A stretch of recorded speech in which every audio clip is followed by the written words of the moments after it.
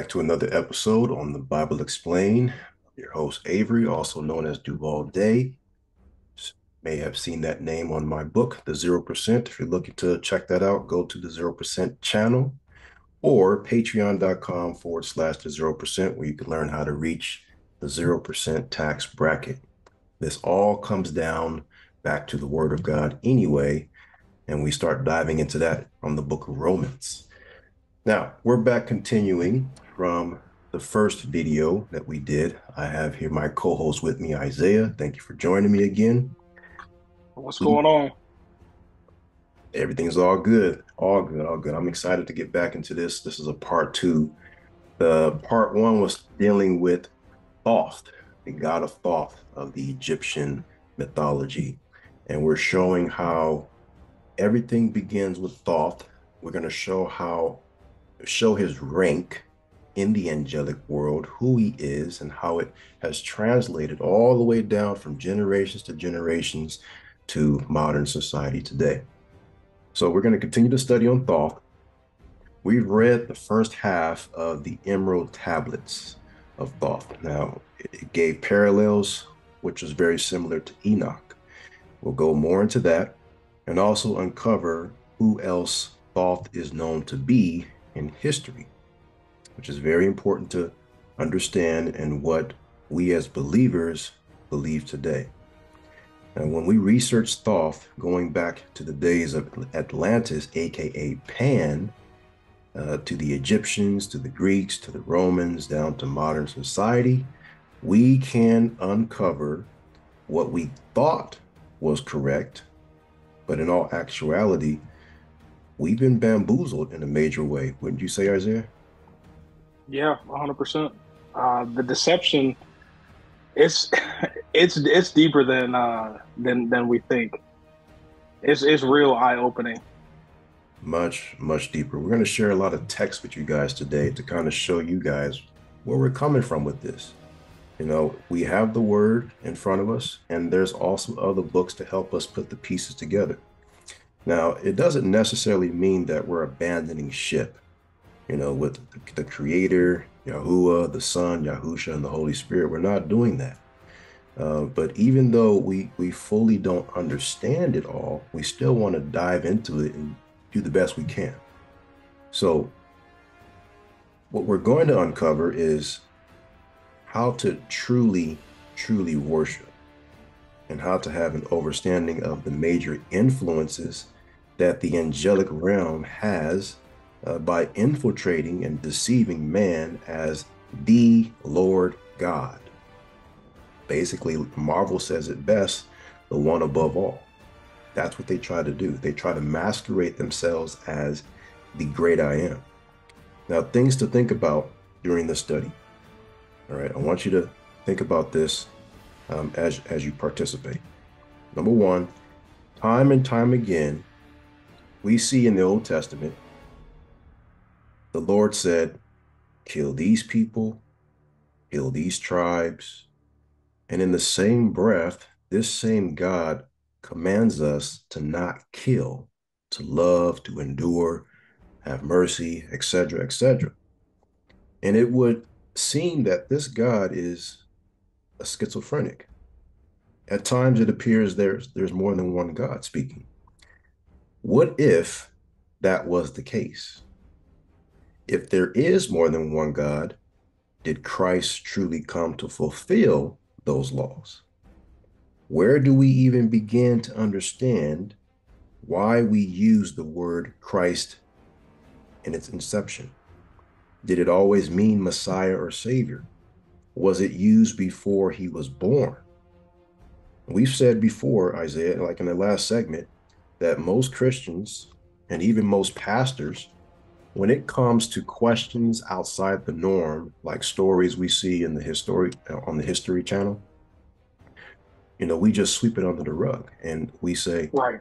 Uh, well, God's thoughts are not our thoughts.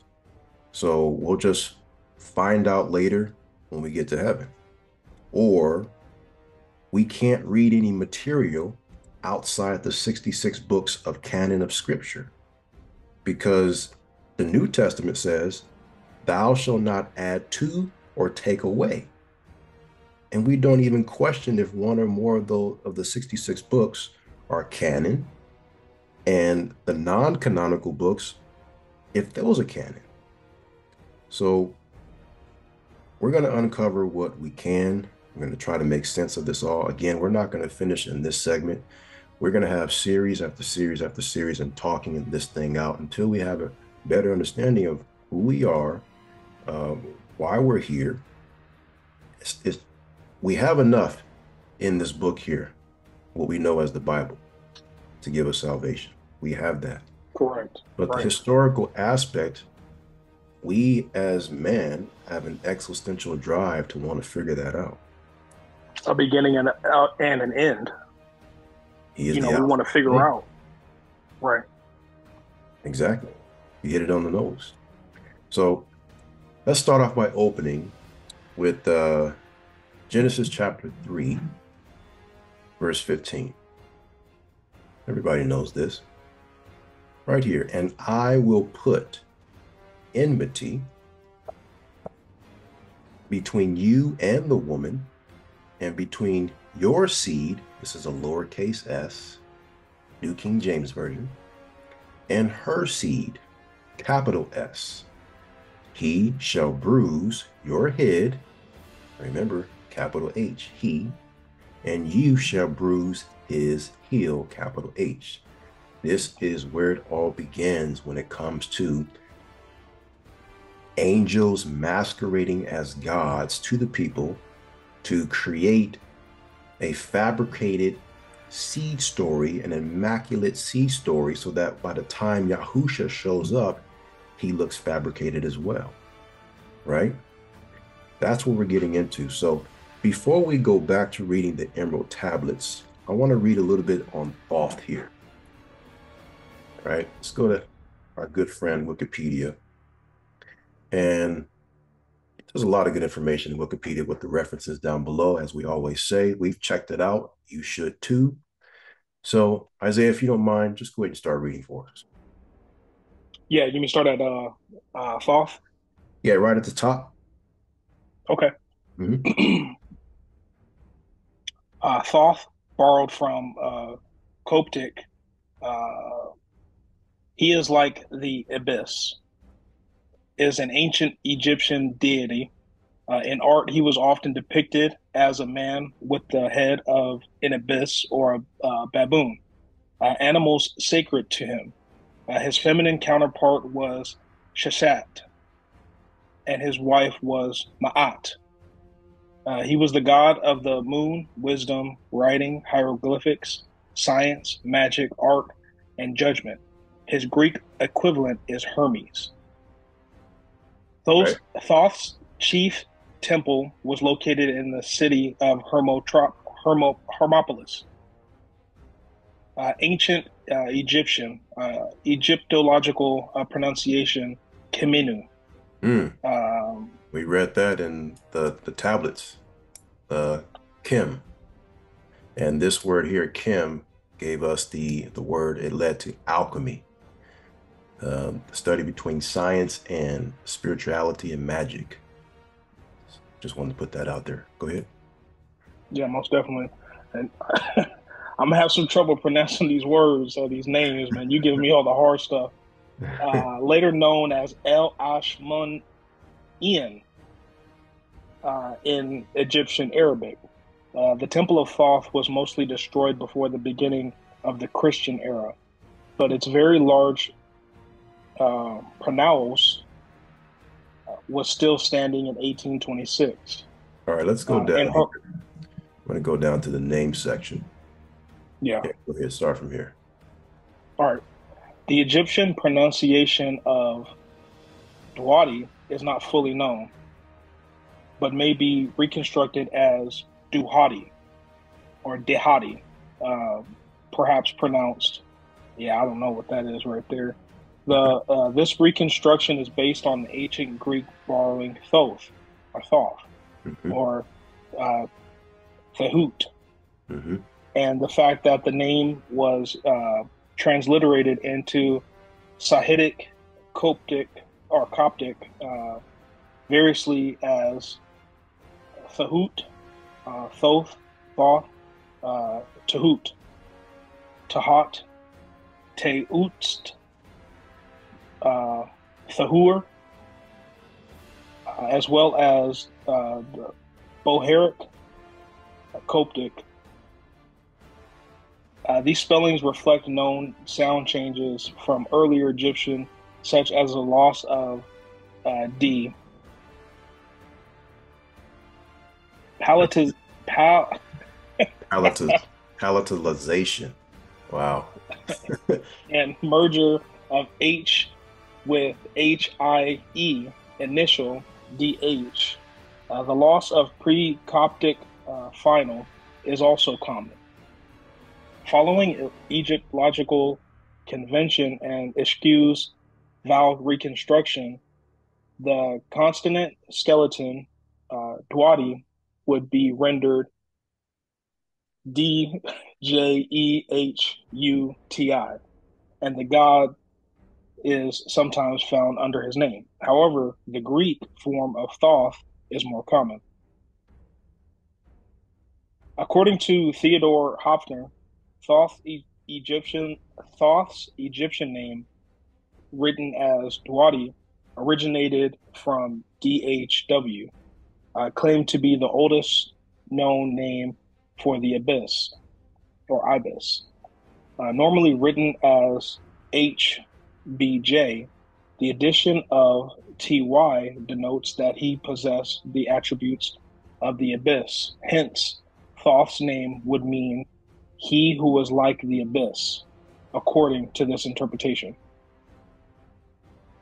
Uh, other forms of the name Dwadi uh, using older transcriptions include uh, Yehudi, uh, Yehudi, Tahudi, Tehudi, Zehudi, Tetu, or Tetu.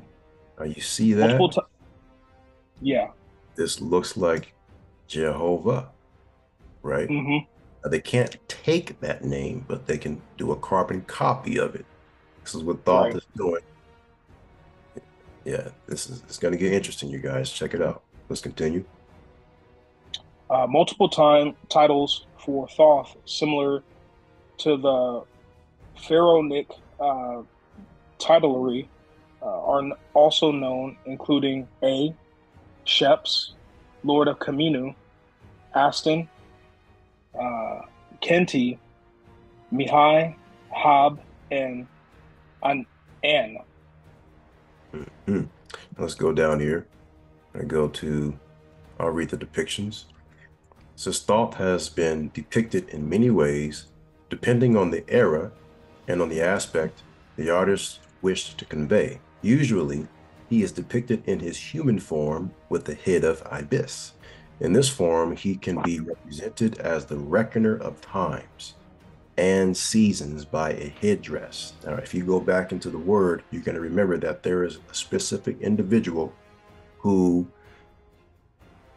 was going to successfully be the one who changes times of times. And he also changes the seasons as well. This is coming from, I believe it was the book of Daniel, we read about that. And Daniel was also talking about that specific antichrist. And there's not just one, there's many antichrists. So it is a title. This is why we go back up to what Isaiah just read, where it said, um, uh, how do you pronounce that word? Pharaonic idolatry. Idolatry. It is a title. Whoever is holding that Antichrist seat, it is a title. In this form, he can be represented as the reckoner of times and seasons by a headdress of the lunar disk sitting on top of a crescent moon resting on his head. When depicted as a form of Shu or Ankher, uh, he was depicted to be wearing the respective god's headdress. Sometimes he was also seen in art to be wearing the Atef crown or the double crown of Upper and Lower Egypt. When not depicted in this common form, he sometimes takes the form of the ibis directly. And the ibis was that bird And we read that in the NIV translation only, where it said, Who can give the abyss wisdom? This was God mocking Job in the book of Job. So I want to go down to um, mythology section of Thoth because he is then translated as another character, another name. Let's see here. Where do we want to go? Right here. It says, in addition, Thoth was also known by specific aspects of himself. For instance, the moon god, Aya Dehudi, representing the moon for the entire month. The Greeks related Thoth to their god Hermes due to his similar attributes and functions. One of Thoth's titles was thrice, thrice the Great. I say the Great is easier to say. Was translated to the Greek Tris Megustos, Megistos, Tris Megistos, making Hermes Tris Megustas. Let's go and click on that. Says Hermes Trismegistus, uh, Hermes thrice the Great, or Hermes the thrice greatest. In Latin, it is um, Mercurianus, Mercurius, Mercurius. So he is also depicted as Mercury, we know, going into Roman mythology. Now, Mercury is a legendary Hellenistic figure that originated as a syncretic combination of the Greek god Hermes and the Egyptian god Thoth. He is the purported author of the Hermetica, a widely diverse series of ancient and medieval. Uh, this pseudonym, let's just go with pseudonym. We're going to have to go back to our, our ways of hooked on phonics to get through this thing. Texts that laid the basis of various philosophical systems known as Hermeticism. All right. What I want to do is go down to the epic section. Thrice the Great. That is already a hijack on the tri the Trinity, the triune. And this is getting started. Here we go. Read the Hermetica, the Hermetic literature among the Egyptians, which was concerned with conjuring spirits and animating statues, informed the oldest Hellenistic writings on Greco Babylonian astrology and on the newly developed practice of alchemy. So that was what the Hermetics was all about. It was witchcraft, it was demonology. As you see, they just explained something that we've all seen in Hollywood. If you go back to the movie Shazam, the seven, uh, what are they called? The set, those seven statues, the seven deadly sins of men. Mm-hmm. Uh, those statues came alive by the conjuring of spirits, and they entered into the the villain's eye, that one eye. You never found your champion, but we found ours.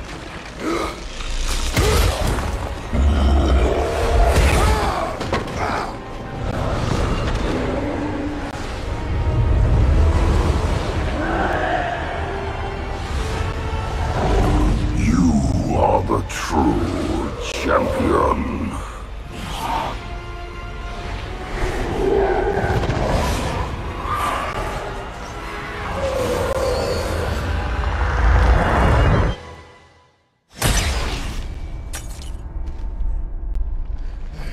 So now we've read that, we're going to go down into the uh, the tablets of Thoth.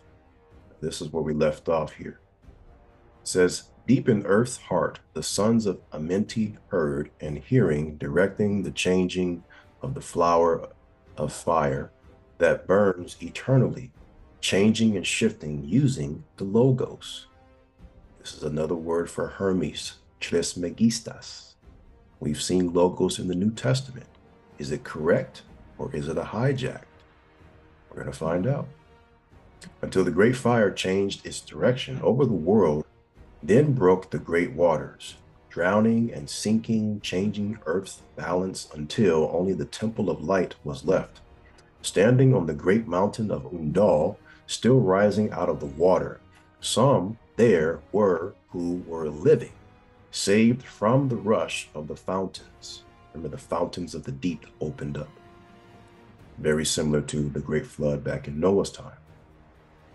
Call to me then the master, saying, Gather ye together my people Take them by the arts ye have learned afar across the waters, until you reach the land of the hairy barbarians, dwelling in caves of the desert. Follow there the plan that ye know of. Now, the last time we spoke, I told you that we have tapestries uh, speaking of the wild men, the wild men that had hair all over their body, and they've encountered a lot of battles with the Moors, who are also known as the Saracens. Sa, Sarah, S A W, space R A W, Sarah, is another word for the tribe of Jacob and the tribe of Isaiah. Everything comes from Jacob anyway. So I wanted to show uh, what that tapestry looked like. There's an image blow it up there. As you see, you have a bunch of pale faces, and they've got hair, uh, hair all over their body. They're using fig leaves as, you know, coverings for their, their bodily parts.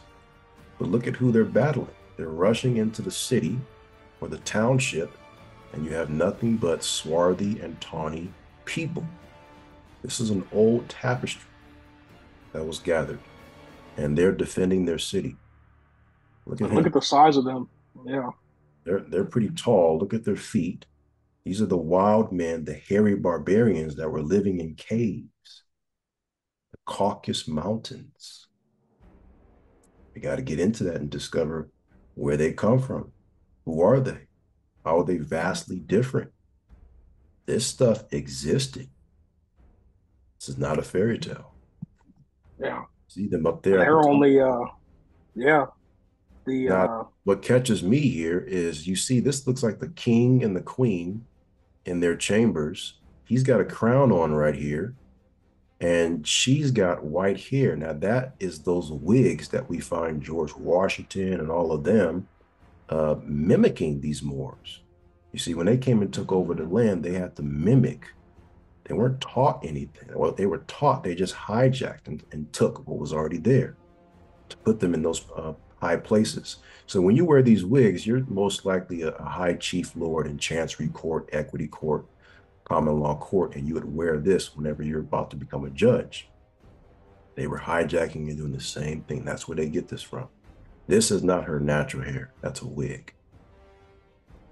That's what they're trying to show you.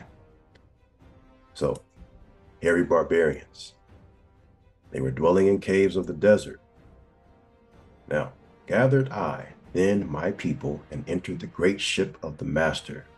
Upward we rose into the morning. Now, when I think of this, remember that movie Prometheus?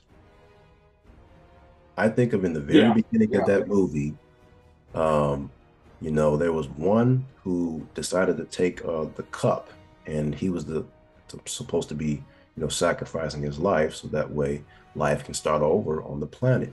And right above was a ship that was hovering over the waters as the destruction was taking place. I just see this scene that was done by director of that movie. Dark beneath us lay the temple. Suddenly over it rose the waters, vanished from earth until the time appointed was the great temple. Fast we fled toward the sun of the morning. This is from the west to the east because the sun rises in the east. Until beneath us, the land of the children of Chem, Kementi, remember that? We just read that with Thoth. Mm-hmm. Raging, they came with cudgels and spears, lifted in anger, seeking to slay and utterly destroy the sons of Atlantis. So the sons of Atlantis had far greater technology than the men down below who were trying to avoid this catastrophe and they see this ship and they're trying to attack it with spears. What are they going to do? Then raised I my staff and directed a ray of vibration, striking them, till still in their tracks as fragments of stone of mountain. Then spoke I to them in words calm and peaceful, telling them of the might of Atlantis, saying, We were children of the sun and its messengers. Cowed I them by my display of magic science until at my feet they groveled when I released them. Long dwelt we in the land of Kim, long and yet alone, yet long again, until obeying the commands of the Master, who while sleeping yet lives eternally. I sent from me the sons of Atlantis, sent them in many directions, that from the womb of time wisdom might rise again in her children.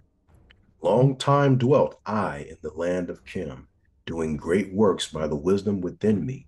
Upward grew into the light of knowledge the children of Kim, watered by the rains of my wisdom. Blasted I, then a path to Amenti, so that I might retain my powers, living from age to age, a son of Atlantis, keeping the wisdom, preserving the records. Great grew the sons of Kim, conquering people around them, growing slowly upwards in soul force. Now, for a time, I go from among them into the dark halls of Amenti, deep in the halls of the earth, before the lords of the powers. This is a rank here, before the lords of the powers, face to face once again with the dweller. The dweller is the master. Raised I high over the entrance, a doorway, a gateway leading down to Amenti. Few there would be with courage to dare it. Few passed the portal to dark Amenti. Raised over the passage, I, a mighty pyramid, using the power that overcomes Earth's force gravity. There we have the purpose of the pyramids. It allows you to overcome the magnitude of the weight that pulls you down. Deep and yet deeper place, uh, place I force a deep and yet deeper place I a force house or chamber. From it carved I a circular passage, reaching almost the great summit. There, in the apex, set I the crystal sending the ray into the time space, drawing the force from out of the ether, concentrating upon the gateway to Amenti. Other chambers I built and left vacant to all seeming, yet hidden within them are the keys to Amenti.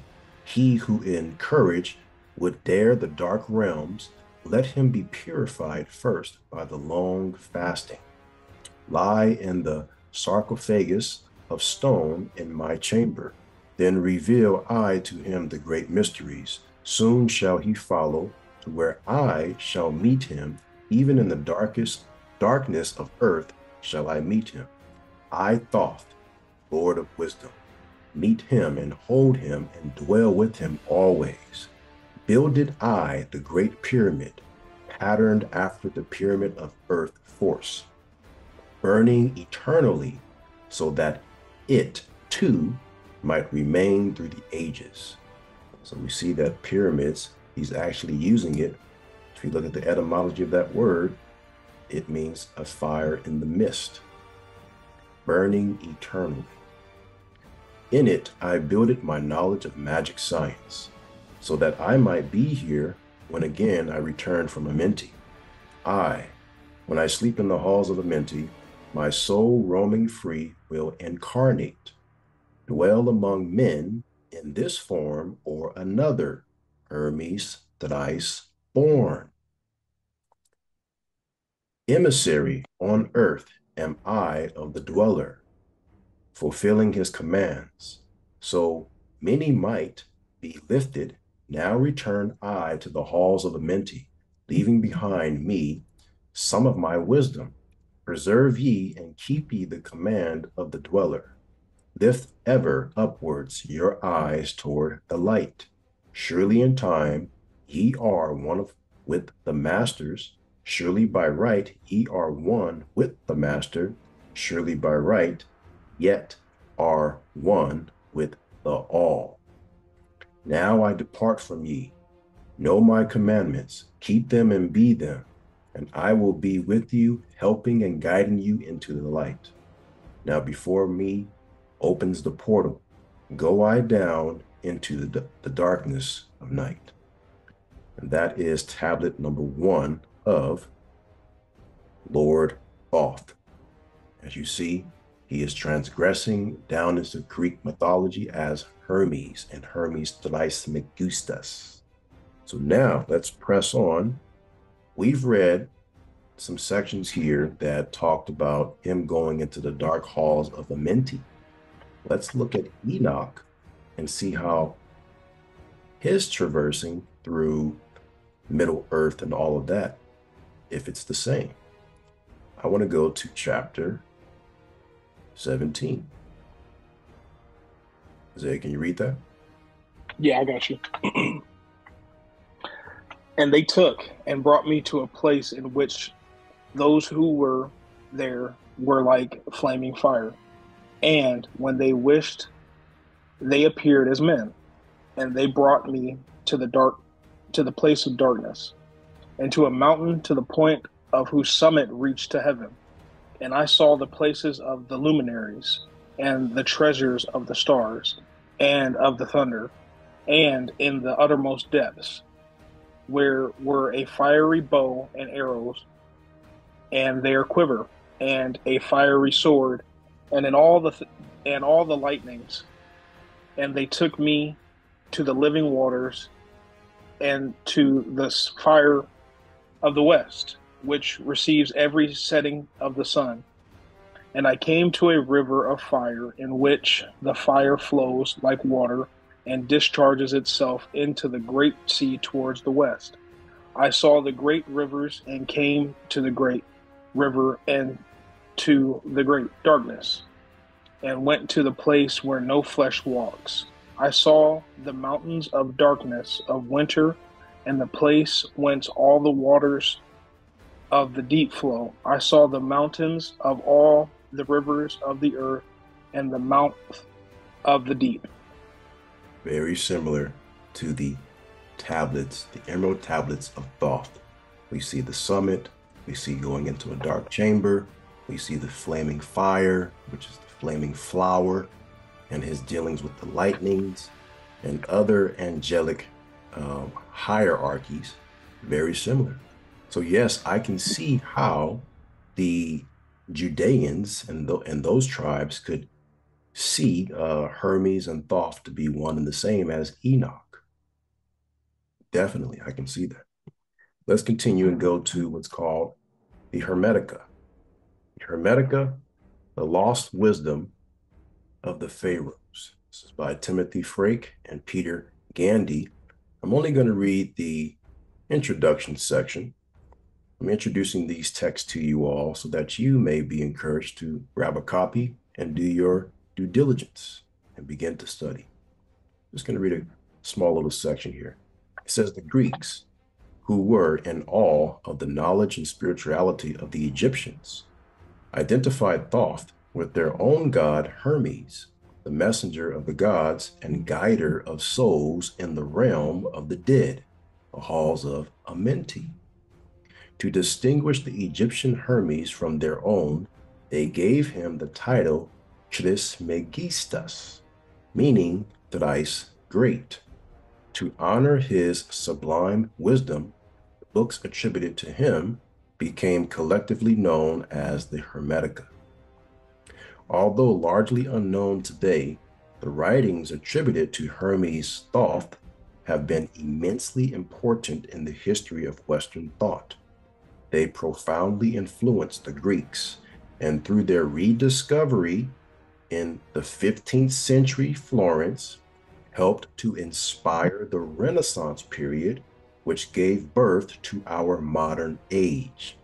And that's huge because in the last video, we came to the book ancient mystic mysteries or mystic masonry. We found out in section number seven here, it says in America, rediscovered in the 15th century and repopulated in the 17th was recovered Egypt and the promised land. And that promised land is also called the land of the eagle. What animal represents the United States of America? The, uh, the uh, bald eagle. Bald eagle. It's right here. Egypt is not what it says it is as of 2022. It was only used as a replacement because of Atlantis sunk under the water. So it had to be moved. Very, very, very interesting. Now, Isaiah, I want you to read for me in this book here. If you could start, I read six, but if you can read seven, and we'll go down to section 14. Right on. Seven. No matter how numerous or complicated the works of a lock may be, if but the right key be applied, the Great Pyramid proves to be the long sought key to the mysteries at once of mythology and of the great world religions. Especially interesting is it to Americans in this year of the Columbian celebration of the 400, 400th anniversary of the rediscovery of America. To see it demonstrated that the cosmic terrors interwoven with the very warp and woof of all sacred literature, Christian and pagan, refer to occur- occurrences as literally, literally true as the earthquake of Lisbon these stupendous events, being connected primarily with a great destruction and recovery of equilibrium in the solar system, and secondly, with the consequent wrecking of the continent of America when the globe became involved in the consequences of the disorder of sky, the skies. America, wow. known. Go ahead. Uh, America. oh. oh, okay. America, known to the mystic as Atlantis, when this ruin befell, was the seat of the greatest empire that has ever existed, and its irresistible armies were temporarily were terrorizing all Europe and Asia. Study of the American constellation Scorpio, Sagittarius, and uh, Capricornus uh, reveal the Im- Im- immemorial uh, antiquity of the name of America and the significance of the arms of the United States. The fact once uh, recognized that it is impossible to separate the eagle from America. The land shadowed with wings of Isaiah, over which accordingly appeared two grand eagles the red swan flying down the Milky Way, and the winged steeds, Yagises and Equilus. All the winged, all the wings known to astronomy, without taking the bear from Russia, Perneus, oh Perseus from Persia, and a floodlight is poured upon the history and mythology, and heretofore much has been vague and inscrutable inscrutable, now we are able to at least to see men as trees walking. When following the course of the constellations, those immovability, immovably, and perpetually fastened upon America are reached, it will appear that while all that is sublime in the his, historic past centers upon Egypt, all that is sublime in the prehistoric past centers upon America, Atlantis. And as the curtain which has hitherto concealed the prehistoric connection between the peoples of ancient Egypt and of America is lifted, it will now be seen that the people of the eagle on the Nile being descended from the original people of the eagle on this continent. The twain are one, and the prehistoric America was the Orient original Egypt or Eagle Land prior to the mighty dip- dispensation in the days of Peleg, when the earth was divided and the great globe itself was nearly rent asunder. All right, let's stop there. Let's stop there. Remember, we had some people asking us about is what about Pangea? Is that correct? Um, mm-hmm. Just being an island, and now if it's sunken, it created a situation where the waters are now navigable for people to, from Europe to come over to this side. That's why you know Columbus came over as a as an order from the, the king and queen of, of Spain. However, we see right here where it says, in the days of Peleg, when the earth was divided and the great globe itself was nearly rent asunder. So, yes, there happened to be a Pangea. And Peleg is in the book of Genesis, and his name means, uh, what does that mean? A great separation of land, something like that, to that notion? Yeah. But what you brought to my attention when you read it was the fact that the peoples of ancient Egypt and of America is lifted. It will be seen that the people of the eagle on the Nile, another word for eagle is United States of America, is on the Nile. We have to go to scripture now because scripture tells us in Isaiah. We got to go there. We got to go there. I think it was Isaiah 11, um, 15. Right here it says, The Lord will utterly destroy the tongue of the sea of Egypt. With his mighty wind, he will shake his fist over the river. Which river? We're talking about the Nile. And strike it into seven streams. So one river is going to be stricken to where it breaks up into seven streams, and streams have its water sources, uh, uh, tributaries or distrib- distributaries coming from under the ground, all the way to the top of the surface. All right, so he's going to turn it into seven streams and make men cross over dry shod. Now, do we have the Nile River in North Africa, the Africa that we know today, do we have seven streams over there right now? Answer is no. I don't believe so. No, we don't. There's only two over there. There's only two. Look at in America, we do. It's called the Mississippi River. Right? Look at mm-hmm. this uh, picture here, right to the side. You have the main one in dark blue. That's Mississippi River. Now there are seven tributaries and distributaries coming from this main river. Illinois is one, the Ohio River, Tennessee River, Atcha, Atchafalaya River. You have the Red River, Arkansas River, and Missouri. That's seven right there. Exactly seven. Wow. And not too long ago, there was a post out here it is from Washington Post, but it was everywhere. Uh, CNN as well. It says what it looks like as drought strangles the mighty Mississippi.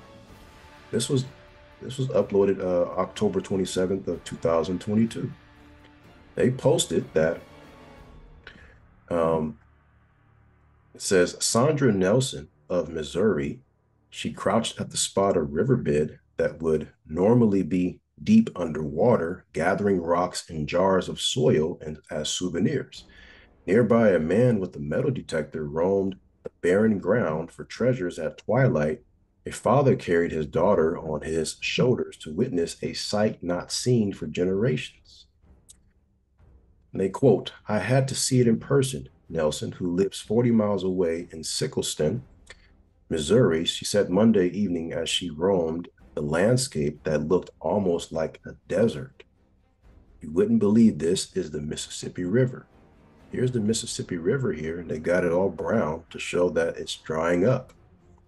That the navigable waterway gauges at or below uh, a low water threshold. It says the nation's mightiest, most mythic waterway has been strangled by months of dry conditions. And this is an actual real prophecy. A real prophecy. If we go back to Isaiah, same book, I think it's 19, 19.5. Yep. The waters will fail from the sea, and the river will be wasted and dried up, and the rivers will turn foul, and the brooks of defense will be emptied and dried up. Right? They're talking about the waters, those seven streams. River. Same word here, Nahar, the Nile. It's happening right now. So we're dealing with the eagle, which is Atlantis, ancient Africa, ancient Egypt, old Egypt. It still is today. It is the promised land. It is the center of all of the continents. We have not been shown the true maps. They will never show that, of course. But we know that it is a center. That is why everyone is trying to flock here. There is an attraction to North America out of all the continents.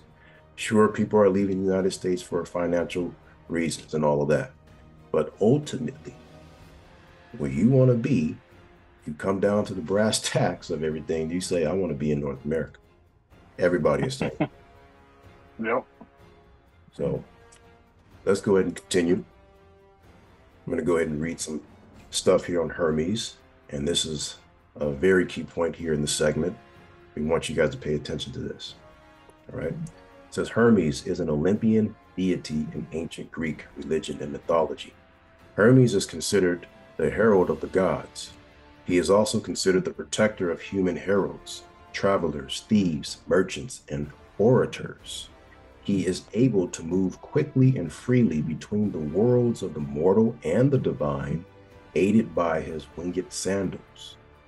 Hermes plays the role of the psychopomp or soul guide, a conductor of souls into the afterlife. In myth, Hermes functions as the emissary and messenger of the gods and is often presented as the son of Zeus and Maia and Pleiad, uh, Ple- Pleiad or something like that. Hermes is regarded as the divine trickster. See that with Marvel, that's Loki. So Loki is a form of Thoth as well, about which the Homeric hymn to Hermes offers the most well-known account. His attributes and symbols include the Herma, the rooster, the tortoise, the satchel or pouch, Talaria, which are the winged sandals, and winged helmet or simple uh, pedicels, as well as the palm tree goat, the number four. Look at that, the palm tree. Who came into the city on a donkey on that great day of Um, Palm, Yeah, on Palm Sunday. Palm Sunday? The goat, number four, several kinds of fish and incense. However, his main symbol is the caduceus, a winged staff intertwined with two snakes, copulating and carvings of the other gods. All right, let's go down here. In Roman mythology and religion, many of Hermes' characteristics alone belong to Mercury, a name derived from the Latin merx, meaning merchandise, and the origin of the words merchant and commerce. I see.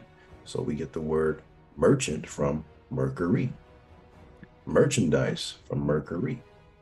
So could it be Black Friday is all about the worship of Mercury? Mm-mm-mm. Let's go down. Let's see here. We want to talk about a section here that was really that stood out to me. Really did. Functions. You have different functions here for Mercury. And here's one. We talked about the messenger messenger god as the psychopomp.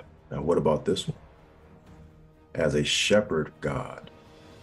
Hermes was known as the patron god of flocks, herds, and shepherds, and an attribute possibly tied to his early origin as an aspect of Pan. In Boeotia, Hermes was worshipped as having saved the town from a plague by carrying a ram or calf around the city walls. A yearly festival commemorated this event during which a lamb would be carried around the city by the most handsome boy and then sacrificed in order to purify and protect the city from disease, drought, and famine. Numerous depictions of Hermes as a shepherd god carrying a lamb on his shoulders, Hermes Kriophoros. Look at that. I want you to pay attention to these words and the spelling of it. Hermes Kriophoros have been found throughout the Mediterranean world, and it is possible that the iconography of Hermes as the Good Shepherd had an influence on early Christianity, specifically in the description of Christ as the Good Shepherd in the Gospel of John. In the Gospel of John. Now, when you see this word gospel, you have to question everything. There's nothing wrong with that. Question everything. Look at the etymology of the word gospel. Old English, God, spell. We know that God is a jealous God. We know that he is the God of gods, he is the Lord of lords, and he is the King of kings. So that means he acknowledging, when he makes that statement, he's acknowledging that there are other gods indeed. So when you say, I worship God, you need to be specific which one. When we talk about God's spell, which God? Which spell? From which God? It means glad tidings announced by Jesus. So if we go back, the good shepherd went into the town, right? Hermes was worshipped for having saved the town from a plague by carrying a ram or calf around the city walls. He is bringing a glad tiding. We continue this definition. It is one of the four gospels. We have Matthew, Mark, Luke, and John. The God spell of Mark, the God spell of Matthew, remember the phrase, um, what's that rule where when it's mentioned once, it will always be? I, I can't remember it right now. But if this was meant to be God's spell when it first came out, the law of first mention, there we go. The law of first mention. When it was called God's spell, that's what it's always going to be. We call it gospel, and it literally means a good spell from a God. Which God? We're getting to the bottom of that in this message here. Right? So, this Hermes has been busy, very busy, going through the ages, masquerading himself as different gods to different cultures. In Roman, he is now Mercury. Go farther than that. The Romans identified the Germanic god Odin with Mercury, and there is evidence that the Germanic peoples who had contact with Roman culture as are also accepted this identification. So, if Thoth is Hermes, and Hermes is Mercury, and Mercury is Odin, and Odin's son is Thor, who is Thor? He is an actual son of God. Right, Avery. I got a question. Mhm. So, with you saying Hermes uh, and, and Thoth and everybody else being so busy, would this fall under the plan of of, of, of Satan's uh, agenda as far as they can do all of this stuff because it, it lines up with what he's trying to, you know, what he's what he's been doing? It's a good question. We're going to see once we get into the other text here. In the realm of the angelic, there are different roles, there are different rankings and hierarchy, and they have there are angels that are higher than him who's doing another way of uh, they're they're obtaining another form of worship for themselves, but in the end, it still goes towards his agenda, hmm right? So to them, it's like, well, yes, you want them to worship you, Satan, but guess what? I'm going to have them worship me far greater than you because I have the I have more legions, I have more angels under me, and I can do it. But ultimately, it still leads everyone astray. And that's still Satan's agenda. Right. Yeah. He's just he's just uh, the front man. It seems like the one willing to to step up and, and say something like the like the Lex Luthor of uh, of the dark side. Right. Exactly. Exactly. I'm going to read this section here. Or actually, you can. Just the, the Middle Ages. Just this. Okay. Uh, the worship of Hermes has been almost fully suppressed in the Roman Empire following uh, the Christian persecution of paganism under Theodosius, Theodosius I in the fourth century AD. Hermes continued to be recognized as a mythical or prophetic uh, figure, though a mortal one, by Christian scholars. Early, uh, and I, I'm gonna stop right there just real quick. Um, and that kind of, I mean, I, I, I don't want to say like it, it ticks me off, but and I and I'm not saying you, we need to acknowledge, uh, you know, the dark powers and the dark forces and things like that, but why why not a, acknowledge uh, who these uh, false gods are, uh, so we could be on guard and and know fully, um, you know, so that that we're able to tread lightly, not Mhm. just write them off and, and, and just be ignorant, Right. you know. And unfortunately, we have been ignorant. We've been given a book and we see the word God, we see the Lord, the word Lord, and we're saying, oh, that's uh that belongs to us. That's who we're worshiping. In actuality, no. You really need to go beyond just the English word. I hate to say this, but English is a bastardized language. The entire world was operating in the Latin, Aramaic, Hebrew, right? And we have this Correct. English, which completely, completely pacifies everyone. And so that was a plan as well. Right. Definitely. And again, you know, just to just to go off on this tangent again, it it makes me think of, of Star Wars. And if you if uh, if you guys are familiar with uh, with Star Wars, you would know that uh, the Jedi uh, battle the Sith.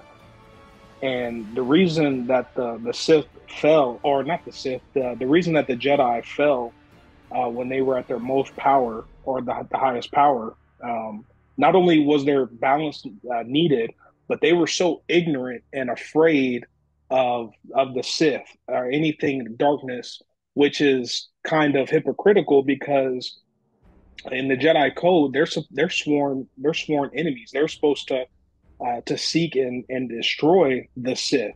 But when it came to anything of the Sith, they were so afraid of it, they didn't even see it right in front of them. Uh, with Palpatine uh, being the uh, being the, the the emperor, you know, and he was able to to creep in there and and cause all of this stuff and and take the chosen one. That's a whole nother uh, you know discussion for another time. But they they were defeated because of ignorance. They were too focused on other things and, and not seeing that it was the darkness was right in front of them. The enemy was right there. They Mhm. didn't recognize it. Mm-hmm. masquerading. Right. So and, I, and I'm and I'm not I'm not saying this to be like, oh, you well you need to go uh, get into a book of, of witchcraft. Heck no. But you don't you we don't need to be ignorant. We we need to be able to uh, to have discernment from the Holy Spirit to be able to figure out. Oh, okay. Well, I know what that is. I'm you know. I'm, I'm, I'm, I, I know to stay away from it and I recognize it. I'm not dwelling in it. Right. We know what to call on and what not to call on. Hmm Good point. We're Exactly. gonna get into Star Wars too. Um, that's gonna be real fun. Real fun to get into that. Oh yeah. Uh, so right. Okay. Uh, early medieval Christians, such as Augustine, believed that a uh, Eu- Euhermes, uh, Hermes, uh, Trimedicus, uh, tri- Trismegistus. Trismegistus had been an ancient pagan prophet who predicted the emergence of Christianity in his writings. Some Christian philosophers in the medieval and Renaissance periods believed in the existence of a uh, Prisca theologia, the, theologia uh, a single thread of true theology that could be found uniting all religions. Christian philosophers use Hermetic writings and other ancient philosophical, uh, philosophical literature to support their uh, belief in the uh, Prisca Theologia, arguing that Hermes uh, Trismegistus uh, was a temporary uh, contemporary of Moses, or that he was the third in line of the important prophets after Enoch and Noah. The 10th century Suda attempted to further Christianize the figure of Hermes, claiming that he was called Trismegistus on account of his praise of the Trinity, saying there is one divine nature in the Trinity. hmm Now, when we get into Man. the other books, we're going to understand there is a what's called a triune council in the angelic realms. It's going to get deep right here at this point. Now, he just read to you. He just read to you that uh, Hermes Tristis Megistus, the thrice great, he had been an ancient pagan prophet who predicted the emergence of Christianity in his writings. How is that possible? Because they they knew that they were going to give a specific story. They're watching man. They're watching the progression of man. They see what needs to happen. They see how they need to convert from where they are to a new form of themselves, just in a new light. Right. That's what's going to happen. And this is and we're talking about the the the, the fallen, correct? This is the fallen. Right. And see, and this is this is a, a little sidebar, or to add to that, is as as a believer in uh in Yahusha, there is how do I say it? These are these are perfect beings. Uh, Lucifer, aka Satan, was was perfect in the sight of the Most High. Um, and I, I believe it's in Isaiah. Uh, he, uh, the Most High, describes uh, what Lucifer was and looked like before the fall. Is it? Is it in Isaiah? It is. Mhm. And so, uh, uh, we were we were jamming about it yesterday, and we we were coming to the conclusion that Satan is the father of lies.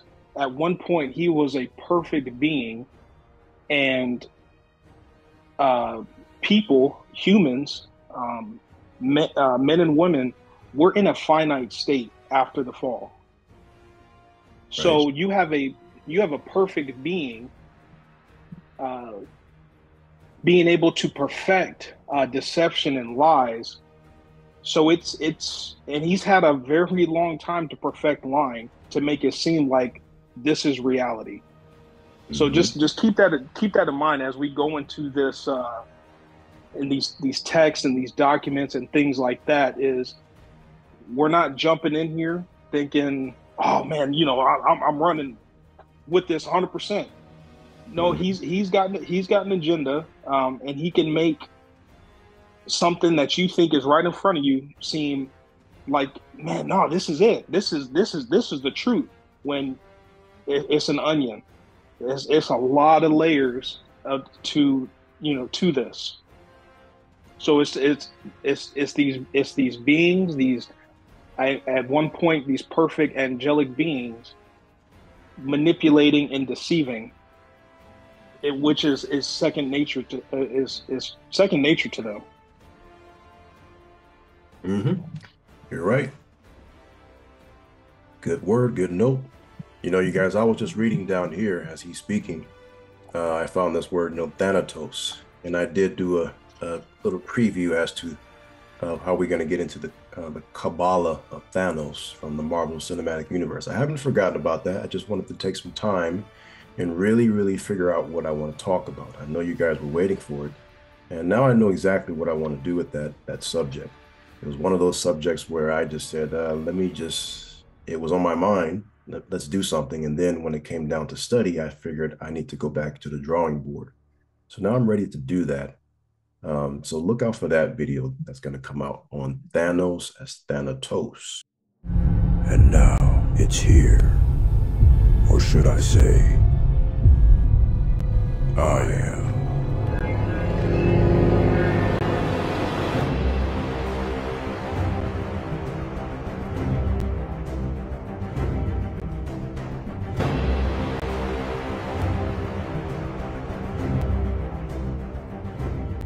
Now I came down to this section, Kriophoros. Remember, I told you guys to pay attention to this word. It says in ancient Greek culture, krios it's a Greek word, or krio for us, the ram bearer. Who is the one that's almost like a ram or a lamb who gives his life? And we know that to be Jesus Christ, Yahusha, the Messiah, right? So here we have Hermes predicting himself as Krios Phoros, and that's how he was able to predict that Christianity was coming. He was Mhm. going to be the initiation of that story. Again, why? When he actually does come from an immaculate conception, no one's going to know who he really is.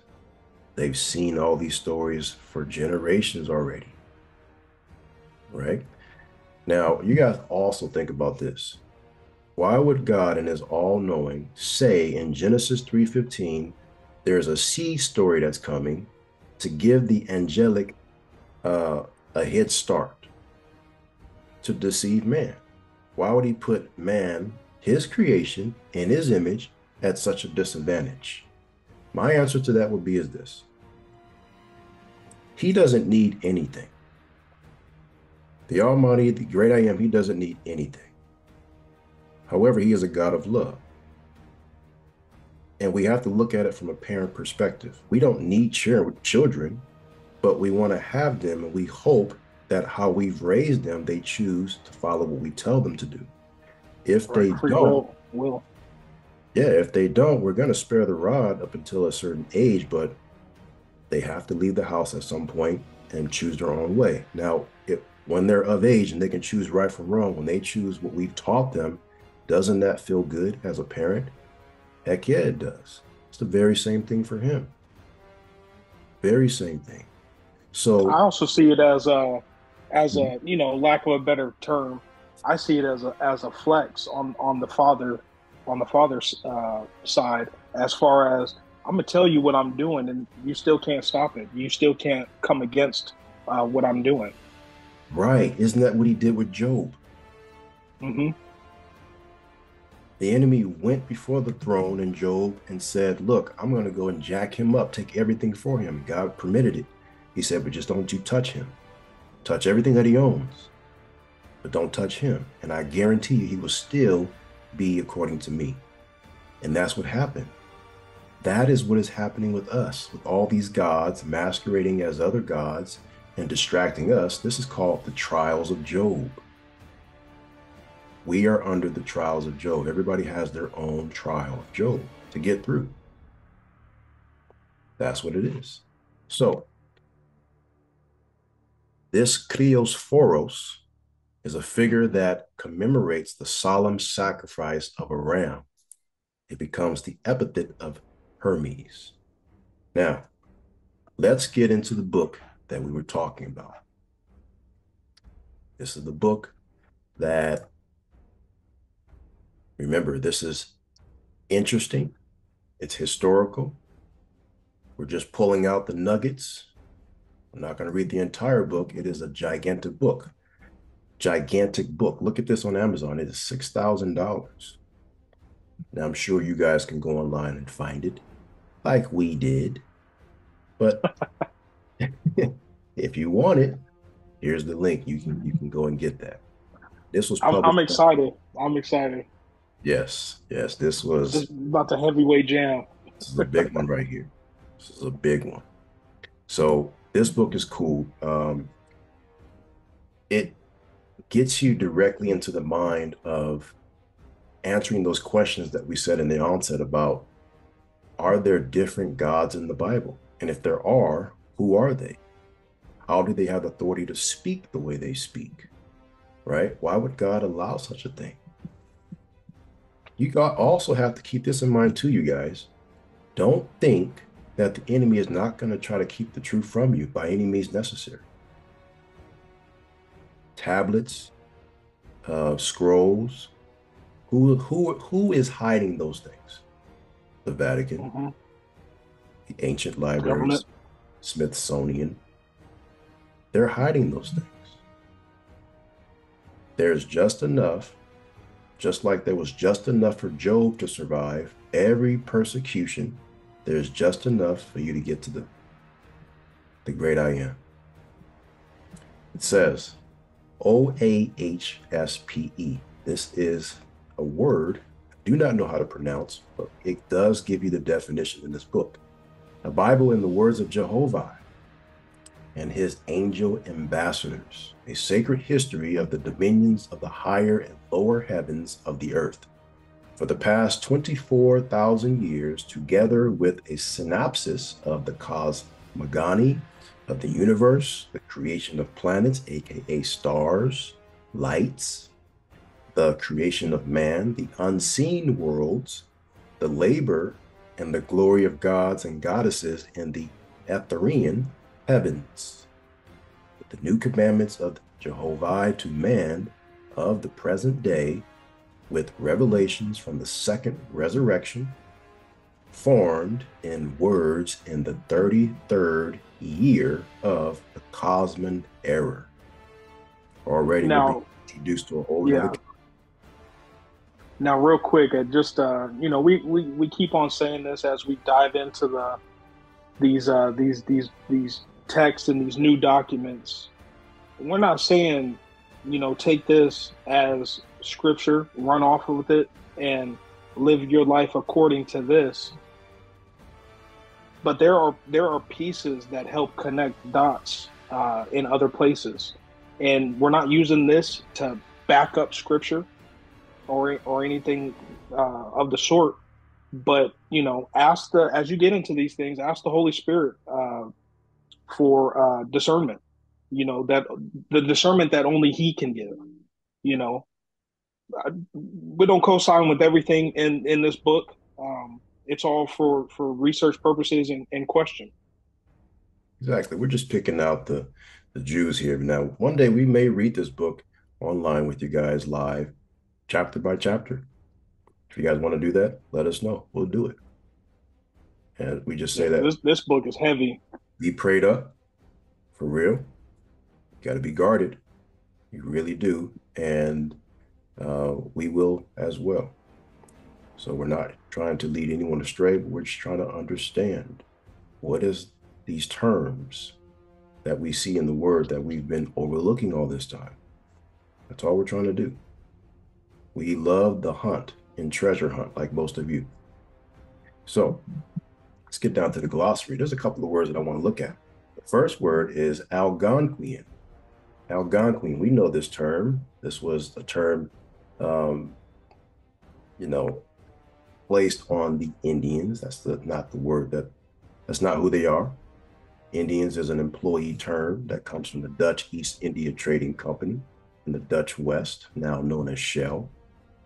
So we have Algonquian tribes, and that, that was really based all over the, the New York area and the East Coast.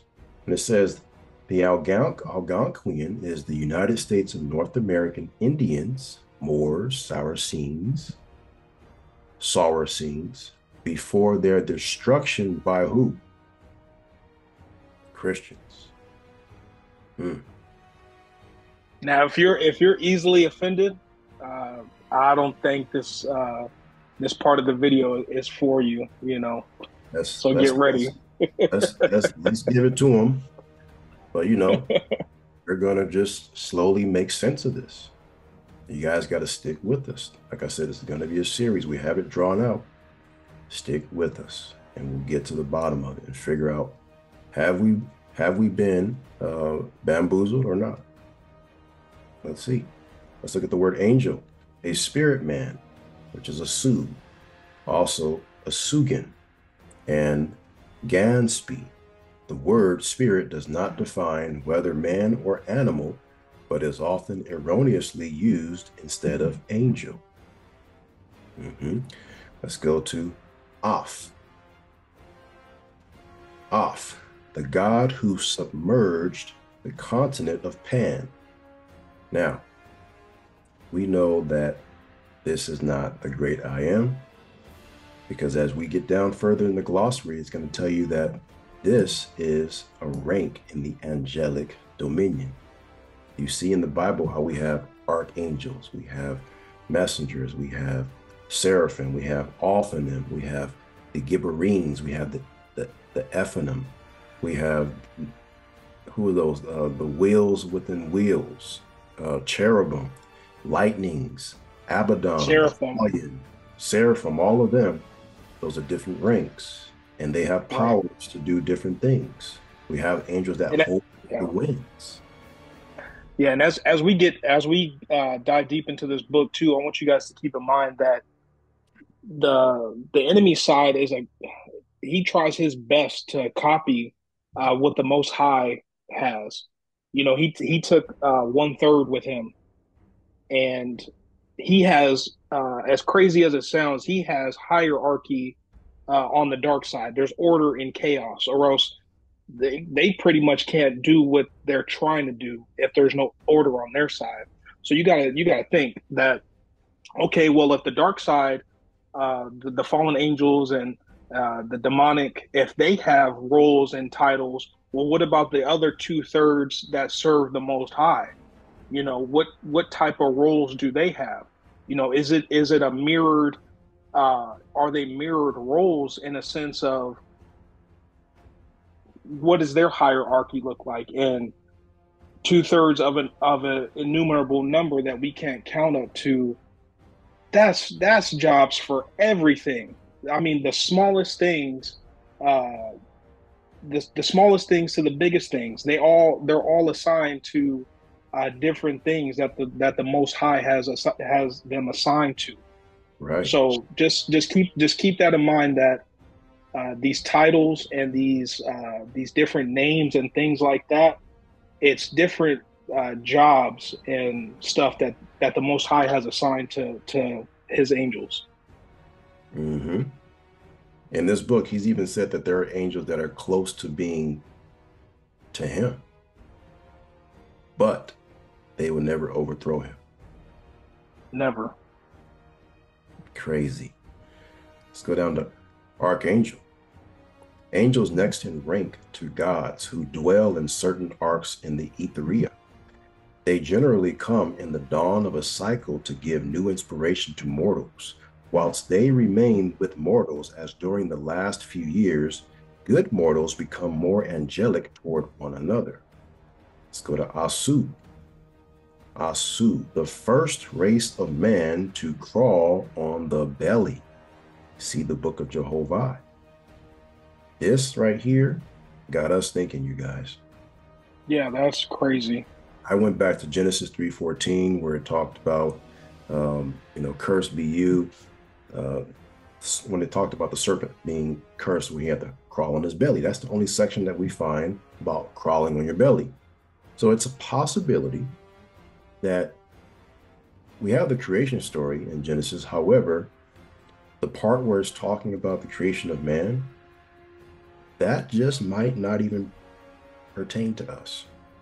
Because it says here, the first race of men. If it's true, if there is a such thing as the first race of men to crawl on their belly, that whole thing about man being created in the garden and all that, that may not even pertain to us. We may not even know how we came to be. We may not, or just have access to that text. It may have been taken out long time ago and replaced with what these angels wanted to give us. Who knows? But this is an interesting definition definition because this would not fit with the entire first three chapters of the book of Genesis. In fact, the word Genesis comes from the family Genoese, the family, the Italian family, the Greek family. And Columbus is connected to that family. We are going to get to the bottom of it. That's all I got to say. We're going to get to the feathers, bottom. feathers about to be ruffled. the word beast, the animal man, or the earthly part of man. Anything that is enforced as a religion. So now it makes sense. Those who take the mark of the beast, it means you're taking on a form of religion. It says in the right hand or in the forehead, right? If I were to accept something, a religion, that means I have accepted it in my mind. There's the forehead. And whenever I accept something, I'm actually going to do an action connected to it. I'm going to move. And it is always accustomed to when you do an action, you complete that action with your right hand. Now, the mark comes in so many different variations. It's not just a, a, a visible one that you'll see as a stamp or something in your hand or your forehead. It, it, it comes in so many different variations, it's not even funny. So you have to understand how that can be. We'll get into that. Let's go down to a few more words here. I thought this was interesting. Capilya. Capilya. It means a deliverer, a man of India, contemporaneous with Moses. And like Moses, he delivered the faithist out of bondage. Keep this word in your mind. Not by migration, but by establishing their freedom throughout India, he also wrought miracles, sometimes spelt Kapeja. A star was named after him as well. This is another person who did miracles and he delivered the faithless out of bondage. Isaiah has asked me before if we're going by the term Christian today, and we just read the definition of Algonquian, that those specific Moors and Saracens were destroyed by the Christians, automatically Christians is not something you want to be associated with. So if we did not associate as that, what did we associate ourselves with? What did Jacob, Isaac, and, and, and Abraham refer to themselves to be? Right here. Faithist. That's what they were called. And you're going to find out that everyone that was attributed to uh, this term here, serving their allegiance to the great I am, the, the great spirit, uh, all of the different terms, Tishkanu, all of that stuff that we learned to call him, were attacked by Christians. It's gonna get deep. It really, really is. It really is. Let's go down to that word. Here we go. Christ or Kriste. Wisdom, knowledge, education after the false God. Loamong. Lo Among, that's another angel. He falsely took this name, Kriste or Christ. It became synonymous with warrior. What about Christians? So I got, I got, I got to jam real quick. So mm-hmm. You guys are going to notice uh, in these definitions that it's always going to say it's going to give the description and then it's going to give you the name of the uh, the false uh, god or the fallen angel after it gives the the intention of uh, or the definition of that title or of that name. And so uh, as we go down you're going to see that osiris uh, is listed and it's going to give you a description and so what i thought was these fallen angels, uh, you know, and these false these false gods, they had a certain amount of power and and prestige, and they had it. They had it all, you know. And beforehand, or, or when they fell, they were so haughty uh, on them own selves, acting like they stuff don't stink. Well, if the Most High got this, I want some. So they fall and then they take and what do they do? It says right here, Lo Among falsely took this name. So to me, that says right when they fall, they need a title of their own because they just they think they got it like that. And so they hijack right there, falsely took this name after they fall because they need some sort of title because they are not originators. They are not the creator. So they what they do is they take it for themselves. They can't create anything. Mm-hmm. They can't. Like I said, guys, we go in there in this one. We go in there. Yeah, we have Christians to. Or Christians, right? A brotherhood of warriors. They were named Christians in derision by the Hebrews. That's an opposition one who rushes into a multitude of rioters and with a sword enforces peace is a true Christian. With the sword, isn't that the opposite? Thou shalt not kill. That is the opposite. They're doing the exact opposite to the Torah, to God's law. Mm-hmm.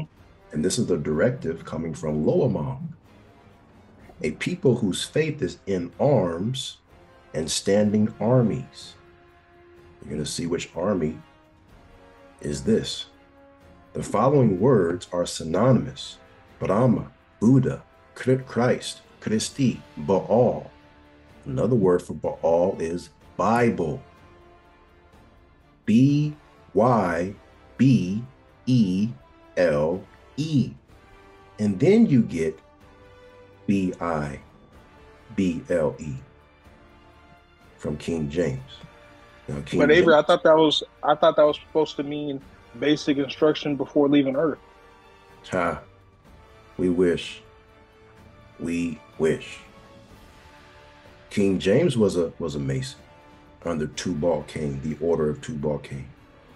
And he practiced alchemy. Man. Ashtaroth, Dagon, that's the Philistine god. Vishnu over in India.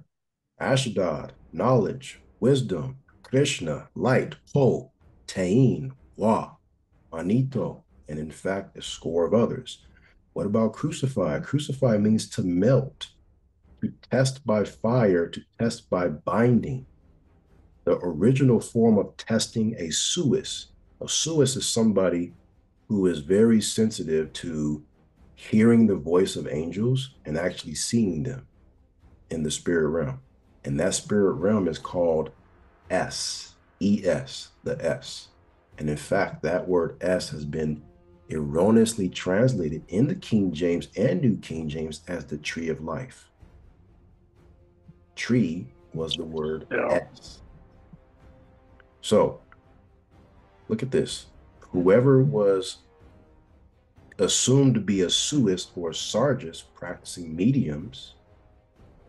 They were binded, They binded him on a wheel. You guys are going to see what the cross was really about.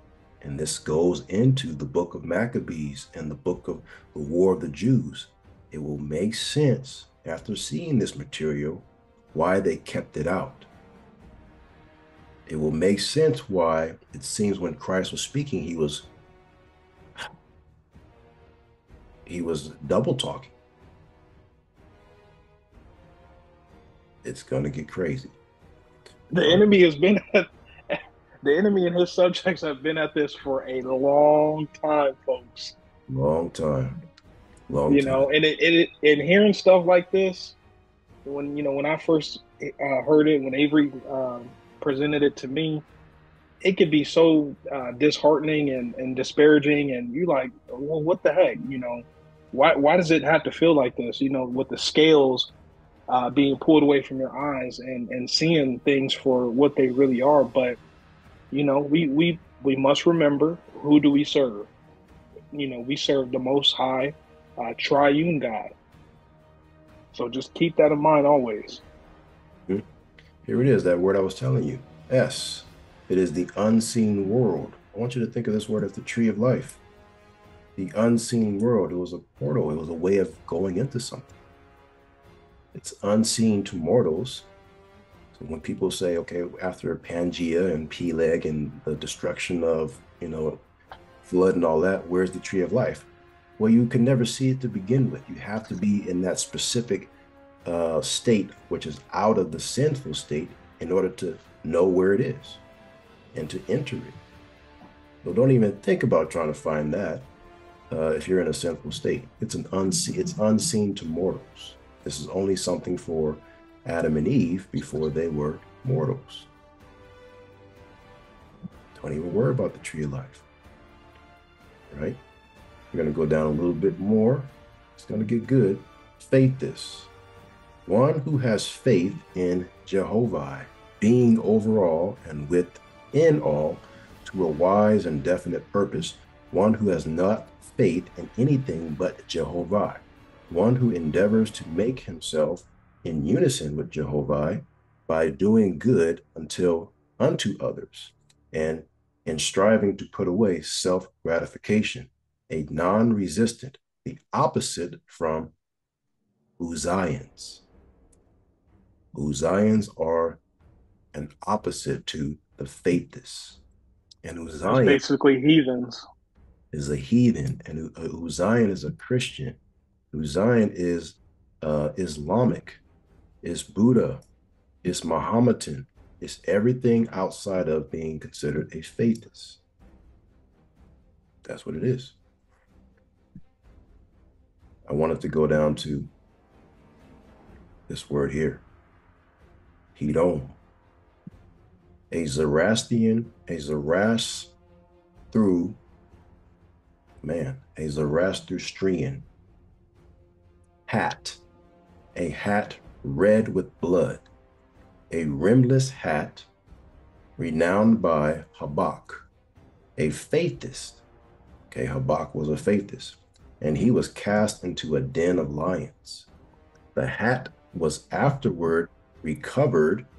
The master in the lodge wears the hat during which time he is saluted as cardinal or Hiram, which is the Ahamic word for red hat.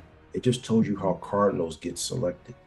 They got to go into, they're, they're part of the lodge of the master ascensions, and they enter into what's called some type of ritual where they sacrifice somebody. They throw them into a den of lions. If I were to go to Cardinals right now, part of the Catholic Church, and look at that, a red hat, right? All these people wearing the red hat. It sounds like a hijack to me. Go ahead. I said that sounds like a hijack to me. From what? Oh, the the uh the fez. Mm-hmm. Yeah, I'm sure Habak was wearing the fez. You know, everybody wearing the red hat. It was first being worn by the one that they're going to sacrifice thrown into the lion's den or whatever they may do today. And now they're wearing it. If they're successfully able to go into the lion's den and pick it up while that lion is doing what it's doing to its victim and not be touched, then they get to be next.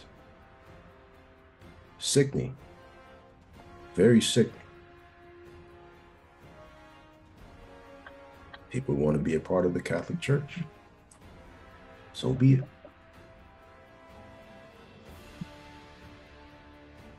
I wanted to talk about this word here, but not now.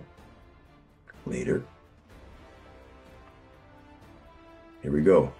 Lord, a God of the earth, or a part of the earth, next lower in rank than the God of heaven and earth. The first exalted rank an angel receives in heaven.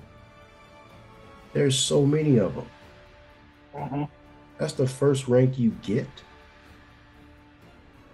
The first rank in heaven receives is Asaph. The second is Ashar. The third is Lois. The fourth is Marshall. The fifth Lord. And the sixth God. You said Drake calls himself that, right? Yeah, correct. He could be. He's in a powerful place. Marshals are rather vice lords and are not titled. The first title is Lord, the second God. God sometimes appoints a Lord to a single city or on earth, sometimes one to a nation. A Lord's minor dominion is 100 million angels, and a major several thousand millions. Lords must have passed beyond the second resurrection before eligibility. What is a Lord God? Because we see this all the time in Scripture. And the Lord God said to my Lord. We see that all the time. David said a lot of that in the book of Psalms. Lord God is an angel that fulfills both offices. So, could we really be reading? How do we know we're reading directly from the God of the great I am? And how do we know it's it's an angel? That's the hijack in scripture. That's the hijack in scripture that's making people not understand what they're reading. To where there's a, a schizophrenic God. One minute he says kill, the other minute he says love. Which is it? And this was all done before the New Testament came. So this is why it's good to have what's called uh, concordance dictionaries to actually look at those words and go beyond just the English preface. It'll give you more detail. That's why we're in these books here. It puts pieces together. You don't want to use the entire book here to give you the, oh, this is this perfect doctrine. We'll just stay here. No. You take pieces and you that's how that's how the enemy is going to do it. They're going to only give you pieces elsewhere and if you find it, God bless you. Simple as that. We're going down a little bit. Hold So, on, go back up, Avery. Um, right Wait. there, Osiris. What I was saying earlier, hmm Go ahead. Osiris, uh, philosophy of measurement, one who maintains that only what can be measured or weighed is real knowledge. The sun is the largest, therefore, the sun is the almightiest, also a god. See the book of Osiris. There was also a false god, Osiris, of latter date, who inspired the building of the pyramids. And see, see, guys, that's what I was saying it gives you the definition of the original term and how it was supposed to be used. And then right here, the latter is the hijacking. Osiris thinking himself, and that that might not even be his original uh, name. That's just what we see from right here. That's But thought. he get right. So him getting so haughty on his own self gives you the definition, and then boom, they see this title and they're like, "Oh, okay, I, I'm I'm gonna hijack that for myself and and make it perverse." And this is this is who I am now. hmm Yep. There's two versions that you guys can find online of this book.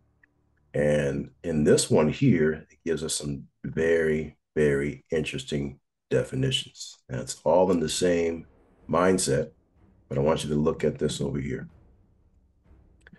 Look right here. This is what the real name that they go by the creator, not just creator by itself.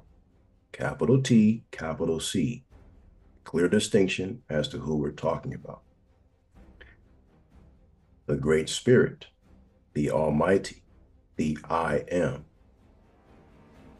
Eolin, Eoi, Eoi, Eloi, Ergo Quim, Jehovah. Right? These are all names by man that we use to call them, to call the great I am. Here in this bracket here, it says Father, Heavenly Father, all highest, all light, all person. Uh, we see how Odin has hijacked that, the All Father. And the All Father is not in here. It's just you're the Father or the Heavenly Father. Yep. And right under that, look where it says false. Mm-hmm. At the bottom. False, right? It? Lord, Lord God, God. So go back to Genesis. It's it's all of this. And God created in the beginning, and the Lord and the Lord God. It's all of this, and this is all pertaining to angels who assume kingdoms in atmospheria, denying Jehovah, professing themselves to be the creator, and yet born of woman. Like I said, what we've read as far as the creation account in the book of Genesis, that may not even pertain to us. It's a hijack. Now we got to go out and find it. Could be. And if it's there, I'm going to find it. You better believe I'm going to find it. Go up here. Avery is uh, is is Satan the ruler of the world, uh, the world's government today?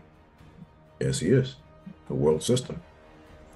Remember, we talked about uh, that the Son of the Almighty, the Great I Am, He's the Word, right? And if you put the L in there for lies, Father of lies, now you have world. See, God doesn't use the the God, the Creator. He doesn't use the word worlds at all. He don't do that because there's only one. He uses creation. Creation. That's it. And all of creation, heavens of heavens.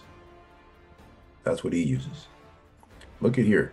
The false Lord God, Anuhasaj, who first made the names Lord God, Lord God, Dias or Dias, a deity, Zeus, Josh, and Hojosh, worshipful on the earth in place of the Great Spirit. In place of the Great Spirit. Lord God, Lord God is all in place of the Great Spirit. You know, back in the days of the medieval times where you watch those type of movies, they would say, Oh, my Lord, as soon as a king would come into the room. That is not a proper title to give to the Great Spirit, the great I am. All right, the triunes, the founders of the Trinity of the Father, Son, and Holy Ghost. All right, here we go. See, all of this is this section here is false. That's what they're saying. That the triunes is that there's a triune angelic council, and they are the founders of these terms. When they got time for the people, the mortals, they were tired of receiving terms like oracles, Thoth, Hermes, Mercury. They're like, okay, you, you guys are messengers.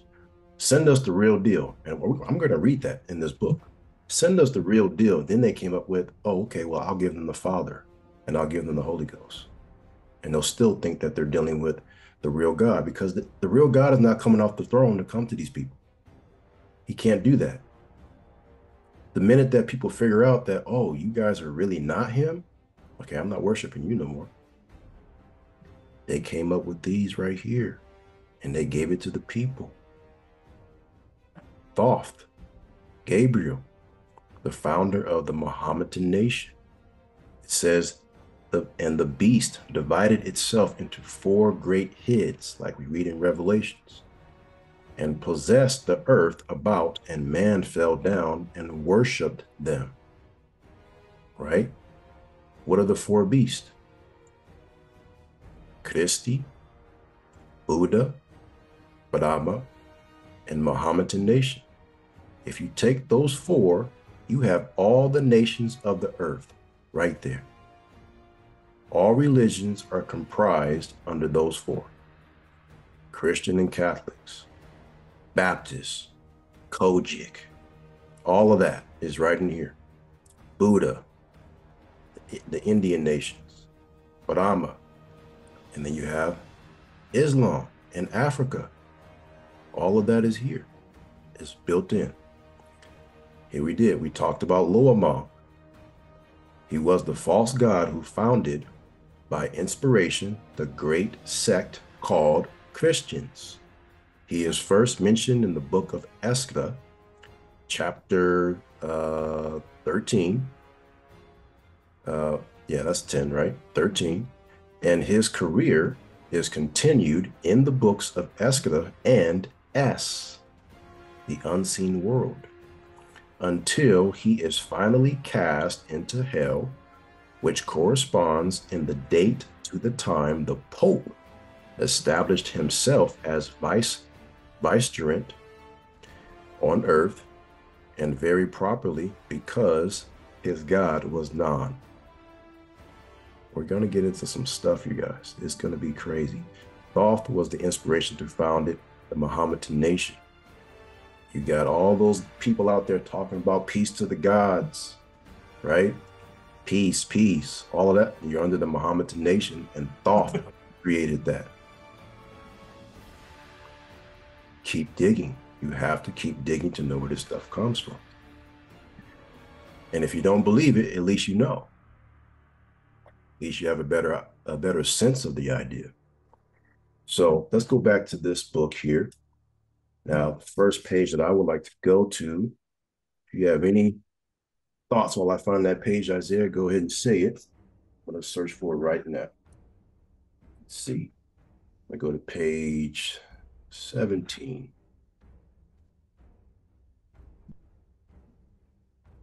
Page 17. I want you to read from point 18 all the way to 23. Okay. Uh, 18. Neither shalt uh, thou have any God, nor Lord, nor Savior, but only thy Creator, Jehovah.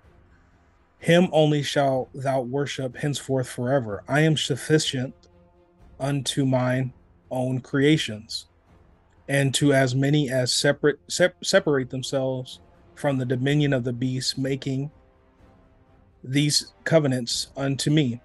Have I given the foundation of my kingdom on earth? And all such shall be my chosen. By their covenants and by their works shall they be known henceforth on the earth as mine, and shall be called faithists. But to as many as will not make these covenants have I given the numbers of the beast, and they shall be called use you Uzzions, Uzzions. uh, signifying destroyers. And these shall be henceforth the two kinds of people on earth, faithists and Uzzions.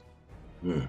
And the angels of heaven descended to the earth to man and appeared before him face to face, hundreds of thousands of them, speaking as man spaketh, with the writings as man writeth, teachings these things of Jehovah and his works. And in the third year, 33rd year thereof, the ambassadors of the angel host of heaven prepared and revealed unto man in the name of Jehovah his heavenly kingdoms, and having thus therein made known the plan of his delightful creations for the resurrection of the peoples of the earth. Wow. So now we see why the angels selected the age 33 for the Christ as his death. When it says the ambassadors, it's talking about the angelic ranks, the angelic host. Angels begin to manifest. This is exactly what they're doing. See, it's talking about the known plan of his delightful creation. So they, they were trying to act first. I'm going to go down to the next section for us to read. All the way towards the bottom. Nine. We want to go to 957. I, I haven't got this far yet. You guys, there is maps in here that you may want to take a double look at. But as always, we tell you be prayed up before you go in and take it as interesting. The same thing that people will tell you, the Apocrypha. Take it as interesting. You may believe that the Apocrypha is the original, that it's always been there. They've taken it out, and then they put that scripture in there thou shalt not add or take away. So now you know not to ever go look at it. Who's to say it wasn't already there because it does make sense when you put it in there. And it is more graphic. There's a lot of deaths that happen in that in that book, Maccabees and all of that stuff. It's really graphic. Yeah, I mean, uh, brass tacks. The enemy hates us. We're mm-hmm. made in in the Creator's image. Of course, He hates us. Uh, spoiler, fair warning. I'm going to read something like that in this video in the Book of Maccabees, and it's uh, may get a little teary eyed, but it shows you what the faith this is all about. It really does. At 957, I'm going to start at point number 29. It says, For three years, Joshu traveled amongst the Israelites, preaching and restoring the ancient doctrines. And there were gathered in groups of tens and twenties and fifties more than 2,000 Israelites of the ancient order of Moses, who became steadfast followers of the teachings of Joshua. But because of persecution by the apostate Jews, they kept themselves aloof from the world, having signs and passwords whereby they knew one another. First, the god Baal, aka Baal, aka Christ, aka Loamong, and after all, and after him, Thoth, inspired the kings and rulers against these faithists. And they proved them by commanding them to eat flesh, even swine's flesh, the which, if they refused, was testimony sufficient before the hmm. laws. See, if they get you to eat it in front of faithists, it's going to cause the other faithists to lose their way. And go and accept all of the different traditions and festivals of the Greeks and the Romans, all of the Hellenistic practices, to convict them of being enemies against the angelic gods. So they were scourged and put to death whenever found. Now it came to pass that Joshua went into Jerusalem to preach, and in not many days thereafter he was accused of preaching Jehovah, and he was arrested. And whilst being carried to prison, he said, Ye are hypocrites and blasphemers. Ye practice none of the commandments, but all the evils of Satan. Behold, the temple shall be rent in twain, that means two, and ye shall become vagabonds, homeless, on the earth. And that the multitude cast stones upon him and killed him. And Jehovah sent a chariot of fire and bore his soul paradise. The Lord said, This is an angel.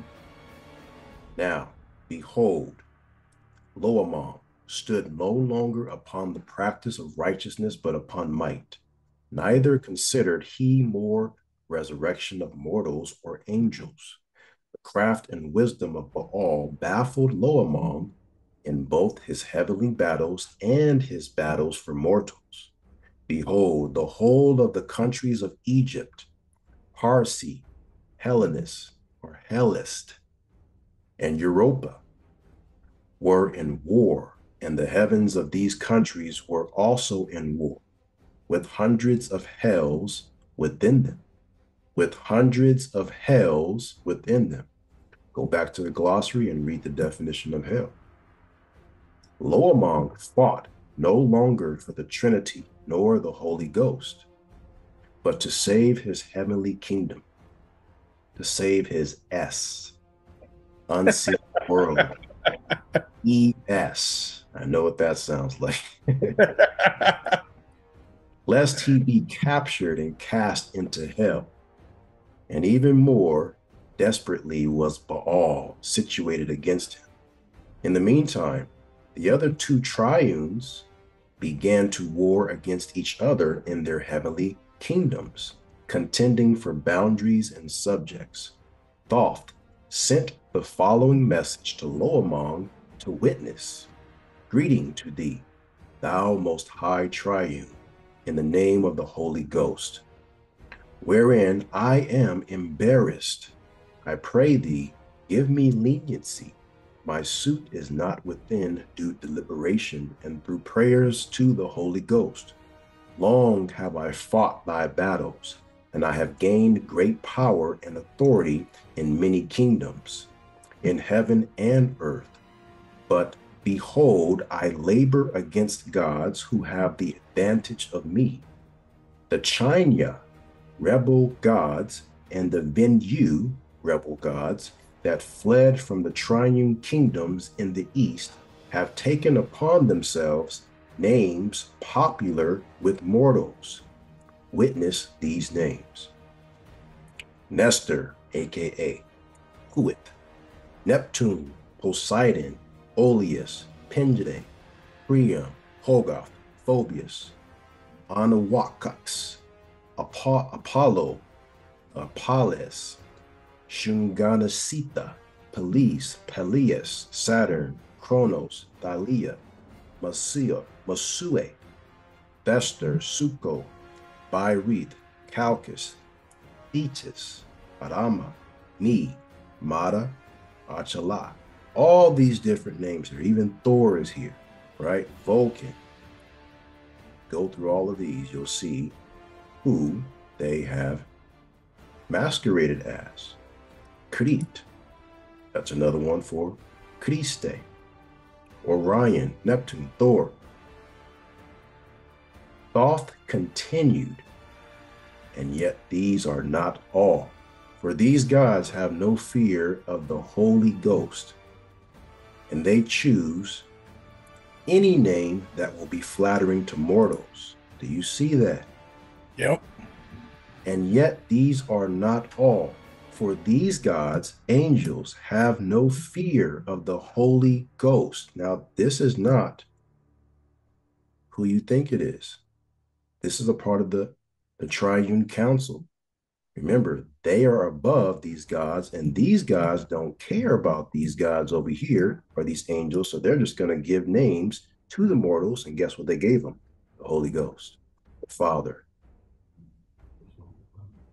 I'm telling you that what we're seeing, terms like the Father, the Holy Ghost, and the Son were angelic titles. And some angels took those titles despite the ramifications of it and gave it to the mortals so that they can worship those titles in opposition to the great I am. That's what they're showing us in this book. Number 12. This then is my misfortune. Thou most holy God of the triune, I am commanded to give but one name, even the Holy Ghost or the Father, to who? The mortals, or whether my angel host speak to the oracles or to persons capable of hearing spirits, that's the suis, and say to them, Fight ye for the Holy Ghost, or fight ye for the creative element. Mortals heed us not. for they irreverently mock us, saying, What care we for a God that is but a ghost, a shadow, a creative element? Give us gods that talk and of themselves. We want no angels from the Holy Ghost. Bring your gods and let the oracles tell us what they say. Looeamong then sent messengers and a suitable escort to Jerusalem on the earth where Thoth was stationed at the time, with an angel host warriors, commanding his presence before his holy council in Hapsendi, Looeamong's heavenly city and kingdom. Now, after Thoth went thither, and they held a council of many names, a disturbance arose in the council in the consequence of the heat of the debates. For the gods of the council, for the most part, said, What better are we than the Jehovians? What greater power have we than the Jehovians? Who can answer the philosophy of Thoth? Is it the truth? Mortals have never been satisfied with an angel from the gods. They want the God himself. Was not this forever the weakness of the Jehovians? Such angels could give no name that mortals knew save they falsely assumed a name, a DBA. Hence their weakness compared to such angels as unscrupulously, unscrupulously assumed to be the gods. We all knew these things before our holy confederacy was formed. Yeah, one of the chief reasons for forming a confederacy in heaven was that we might more effectually overcome the power of evil spirits over mortals, the demons. They're telling you that angels have a hard time with demons. So they made a confederacy. In that day, we said the three persons, the Son, the Father, and the Holy Ghost, would enable us to appear in person and without authority unto the mortals. Behold, it hath now come to pass, mortals desire a more definite God, one known unto them. We cannot truthfully take the name of any God Thoth has named, nor any other God worshipped by mortals. Looeamong then drove hence from the palace of his holy council that he might have an opportunity to reason with himself as to what he should do. And we have to continue. Next chapter. Hear me. And this is Satan. He entereth the holy council of Hapsendi to speak unto Looeamong the triune. Hear me, O thou most upright of gods. Mine is a tale of pity and of horrors for thy people. Behold, thy one time brother triunes have had great advantage of thee from the start. They had more populous kingdoms and subjects of higher grades. Nevertheless, wherein they have prospered, those shall be wise. They also found it necessary to have a name that mortals could call unto, and they took upon themselves the names Brahma, and Buddha, both of which signify knowledge, no more, no less. This has satisfied the mortals. Now, thou shalt choose the name Kriste, which is the Ahamic word for knowledge also. In this, then, thou shalt have truth on thy side in heaven before the holy council, and on earth thou shalt have a personal embodiment. Satan is just sowing those seeds. Do you see what Yeah. they're doing here? Go to page 960. This is 960. Point number eight. Jehovah said, This mark right? This mark, I think I should go up a little bit. Right here, number three. Nevertheless, Looeamong had it proclaimed in heaven and earth that he was the Kriste. Uh oh. Which is the Ahamic expression of all knowledge. The Lord said, Now, therefore, Looeamong was from this time forth a false God in heaven and on earth. An angel said that lo among another angel was a false God, a false God in heaven and on earth. And lo among the angel commanded off the angel, his angel warrior in command of his earthly dominions to raise up tribes of warriors amongst mortals. And by the inspiration of said Thoth, these warriors were induced to call themselves Christians. God said that man may know this is true. Behold, the followers of Jehovah are not warriors, nor have they ever been. Jehovah said, This mark put I upon man from the time of Cain to the present day, that whoso raiseth his hand against his brother raiseth his hand against me also. Remember, the Christians kill with a sword. So he's telling you, if you do that, you have the same mark that he gave Cain, because Cain slew Abel. And this mark shall distinguish my servants, the faithist, to the end of the world.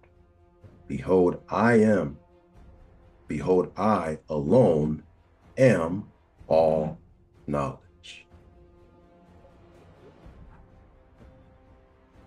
What do you think about that? That's that's heavyweight jamming right there. It is indeed. Guys, we're almost to the end. Hang with us.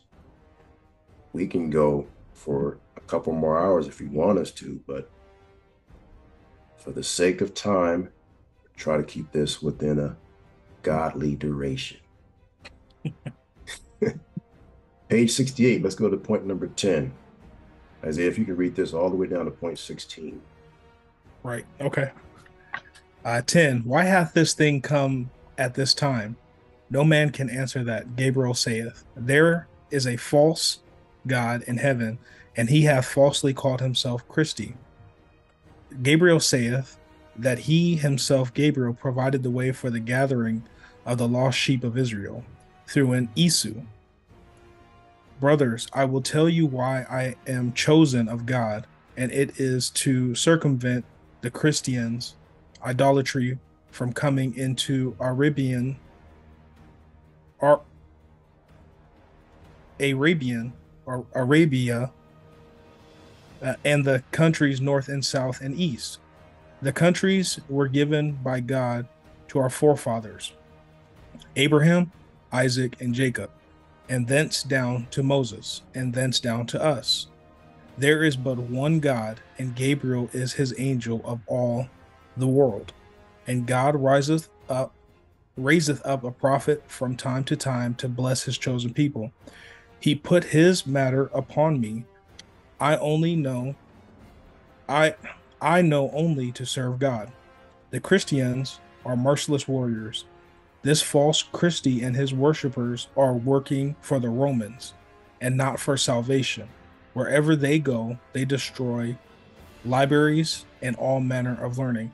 And when I when I hear uh when I hear stuff like um right here it says they are merciless warriors, it brings me to think about when uh Yahusha was in uh what when he was getting arrested and the Roman soldiers came up and getting ready to uh, arrest the, uh, the Messiah. Mm-hmm. And Peter, you know, he was with the funk at that time and he sliced off, he slew the dude's ear. Yep. You and know? it was these guys who did it. You know, so so by all by all accounts, shouldn't if if they were considered uh Christians, should was wasn't Peter in the right? He wasn't considered to be a Christian. No, but that's that's what I mean. Like there, the definition of a Christian right here is you know they're supposed to they're merciless warriors to Right. whereas Messiah told him to put that sword away and healed uh the Roman's ear. Mm-hmm. Right now, these these these Roman, well, these Christians, Crusader, yeah. Crusaders, the Knights Templar, it says right here that they were working for the Romans and not for salvation. So when I look up the Knights Templar, it tells me, it tells me straight up, it says officially endorsed by the Roman Catholic Church by such decrees as the Papal Bull. So they're also known as the Papal Bull, right? Well, if you look at this decree here, within this, you're going to find the Knights Templar getting their uh, confirmation to go ahead and be an established order to do what they did. And this is all coming from Loamon,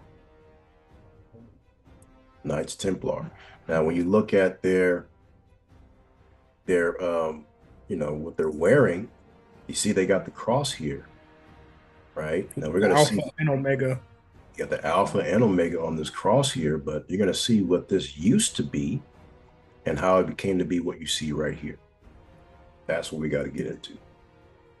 So to do that, I got to go back up. I'm going to go to page, if you guys are following in the book with us, page 358. And it's going to give us a clear distinction, and this is what ties us in to those apocryphal books. Book of Maccabees. See here. Going. 358. Right here. Look at that. So this is a wheel, otherwise known as the rack. They also call it the the Ugsa, the Uga. If you get up on the Uga, you're pretty much done.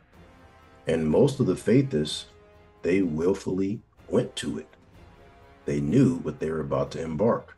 They're not going to let go of their faith, uh, you know, to make an example and go into taking over, going into the Greeks' festivals or whatever they wanted to do. They said, no, I'm going to just climb on this rack and die for, for what I believe because I know that people are looking. And if I don't do it, especially if I'm an older scholar within my practice, the younger ones are going to fall astray. That's what they're going to do.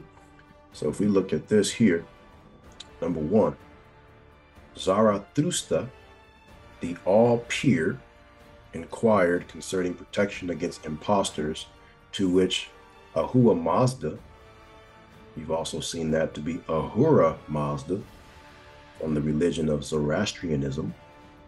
That's under the gods of Xerxes and Artaxerxes, King Darius, and all of them. And they answered, saying, Prove all things on the altar. If a man come before the people, saying, Behold, I am a prophet, and he teach strange doctrines. Of course, it's going to be strange. If you're a faithist and you're an Uzian, anything that the faithists talk about or do is going to be strange doctrine. So they're in trouble. He shall be tied on the wheel with his face toward the sun at high noon, 12 o'clock. And if he be a true prophet, the spirits who dwell by the altar will set him free. But if he be not released on third night, on the third night, the will shall be carried out into the forest and stood up by the bushes. And if he be an impostor, the wildebeest will come and devour his flesh. You know what this makes me think of? Uh, you're you're you're big in in the the game world of uh, the God of War, Mhm. and there was a character who uh, he was banished to this major rock, and he would be eaten alive by this bird, and then at some point he would be restored for it to happen all over again. Yeah, correct. Yeah, that's what that sounds like. So if you were actually on this wheel and uh if the if the if your savior or whoever you prayed to didn't come rescue you on by the third night, they're gonna wheel you off into the wilderness, leave you in the bushes, and all kind of creatures are gonna come out and just eat you alive. Now, here's yeah. the second part. It says, they inquired concerning the wheel afterward. See, they care about this wheel. Really do. They care about what's inside the wheel. This is where we get the cross from. And Ahura Mazda said, When an impostor had perished on the wheel, behold, the wheel shall be no longer used as before, but the disciples shall cut away the rim of the wheel and cast it away, for it is useless. But the crossbars of the center of the wheel shall be retained, for it was on the bars that he was bound. And the cross of the bars is sacred, and it shall be hung in the place of worship, for it is a true cross. It's a true cross because it was used to test if you were a suis or sargis. And we got to get more information on the origin of the cross in the book of Saphah. All right, coming down to it. Let's go back down to page 796. 796.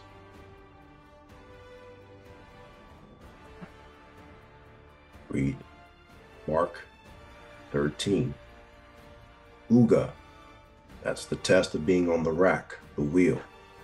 If the S the unseen unseen world release him then is he our true prophet he hath sworn by the will he shall be tried an oath to swear by the all i am see that's a word for the great i am as well the angelic are not using that ishka that's china dukkha poet ella Fancy, Allah, Ibra. I'm not going to even try to say that. Uh, pledging by Hebrew. All of these words. I think that's uh, Ishbuah. Ishbuah. Pledging by Hebrew. Thank you. Ukgak, which is Algonquian. And this is the Americas. He shall be proved on the cross a Drew, and he dieth not. Let him answer on his name that he hath professed. If he be a false prophet, he will fear Uga, which is the test. False prophets' bones hanged on the Drew, the cross. The true are released by Eolin, right? It's released by Eolin. Gotta go down to section 19 saw the crossbones, the sign of an evil man that died in evil panic. The evil cross that is the English letter X. He was bound on the wheel and perished. There was no alley, there was no all holy in him. Let this mark be branded on his forehead, that all men may know he is a false prophet. He rotted on the wheel Sa, Sahan, let this be a sign of evil spirits. Hisa, Sa, Said, to wither. This shall be the sign of war. It shall be on the banners of the righteous. They shall go forth shouting, Izab, die, Sa, death, Sa, let us perish for the righteousness' sake rather than do evil. All right. So we got an idea of what the wheel is and how the cross came to be. So once they discarded the wheel, they took the cross and placed it inside of a holy place and considered it to be uh, something holy. It was used to figure out if somebody was a spiritist or not to be a proven prophet. And that image translated down to this here the Christians used it to test, or to basically see if they're going to use their sword or not. They just removed that circle. Now, in the book of Maccabees, second book of Maccabees, chapter 6, verse 18. Isaiah, go ahead and read that for me. 18, 18, 18. After him they brought forth the sixth, and when he was about to die, he said, Do not deceive yourselves in vain, for we are suffering these things on our own account because of our sins against our own God. Therefore, astounding things have happened. But do not think that you will go unpunished for having tired, tried to fight against God. Let me keep reading. Mm-hmm. Yes. The mother was especially admirable and worthy of honorable memory. Although she saw her seven sons perish within a single day, man, that sucks. Uh, I'm so sorry. I, I jumped the gun. We got to go up a little bit more. Uh, let's see. The first brother. Let's see. I just, it's, it's, this is the, remember I gave you guys a preface. I told you a little warning. This is the martyrdom, martyrdom of seven brothers. Okay, this is actually the fourth Maccabees, and it's chapter eight. Um, we're going to read seven through eighteen. You know what's in the back of my mind. and all things we do in order. yes. Uh, so you can read from seven, and we will stop at uh, 23. Okay. Man, you're making me uh work for my meal. they they gotta have the whole story. Yeah. Seven. After the first brother had died in this way, they brought forward the second for their spot sport. They tore off the skin of his head with the hair and asked him, Will you eat rather than have your body punished limb by limb? He replied in the language of his ancestors and said to them, No. Therefore he turned he in turn underwent tortures as the first brother had done. And when he was when it and when he was at his last breath, he said, You accursed wretch, you dismiss us from this pa- present life, but the king of the universe will rise up to an everlasting renewal of life because we have died for his laws. Uh, after him, the third was the victim of their sport. When it was demanded, he quickly put on his uh, quickly put out his tongue and courageously stretched forth his hand and said nobly, I got these from heaven, and because of his laws I disdain them.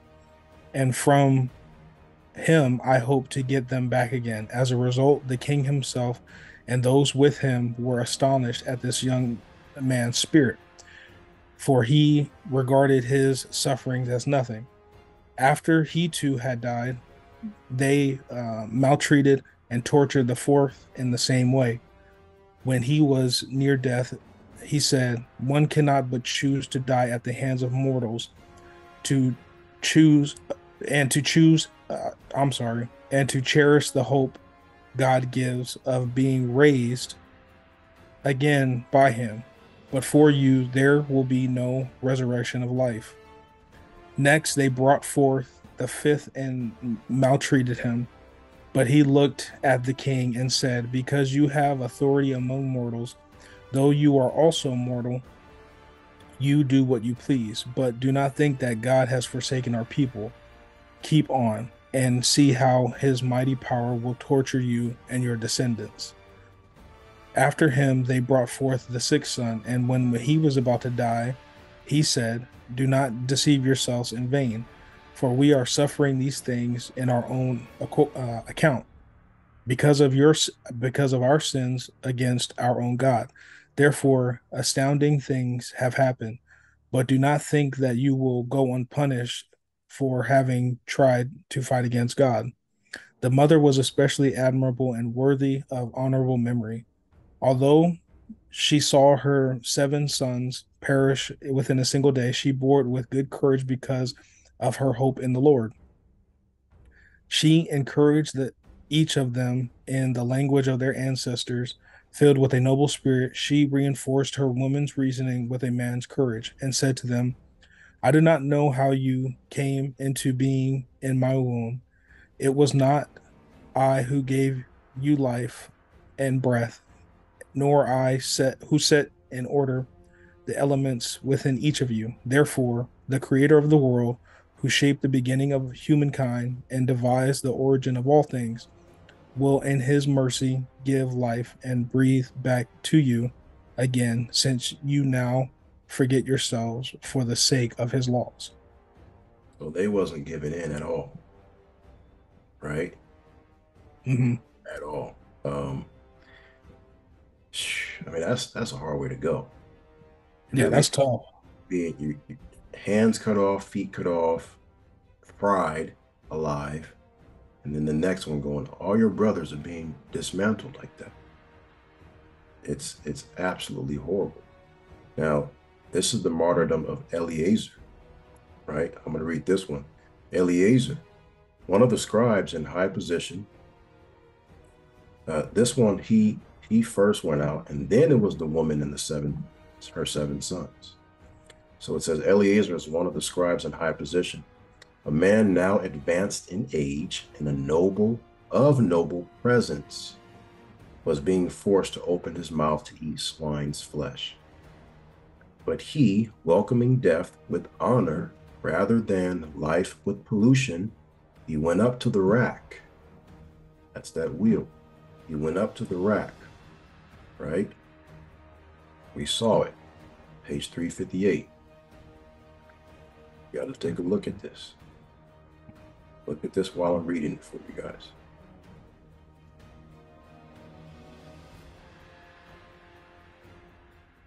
It's rack right here.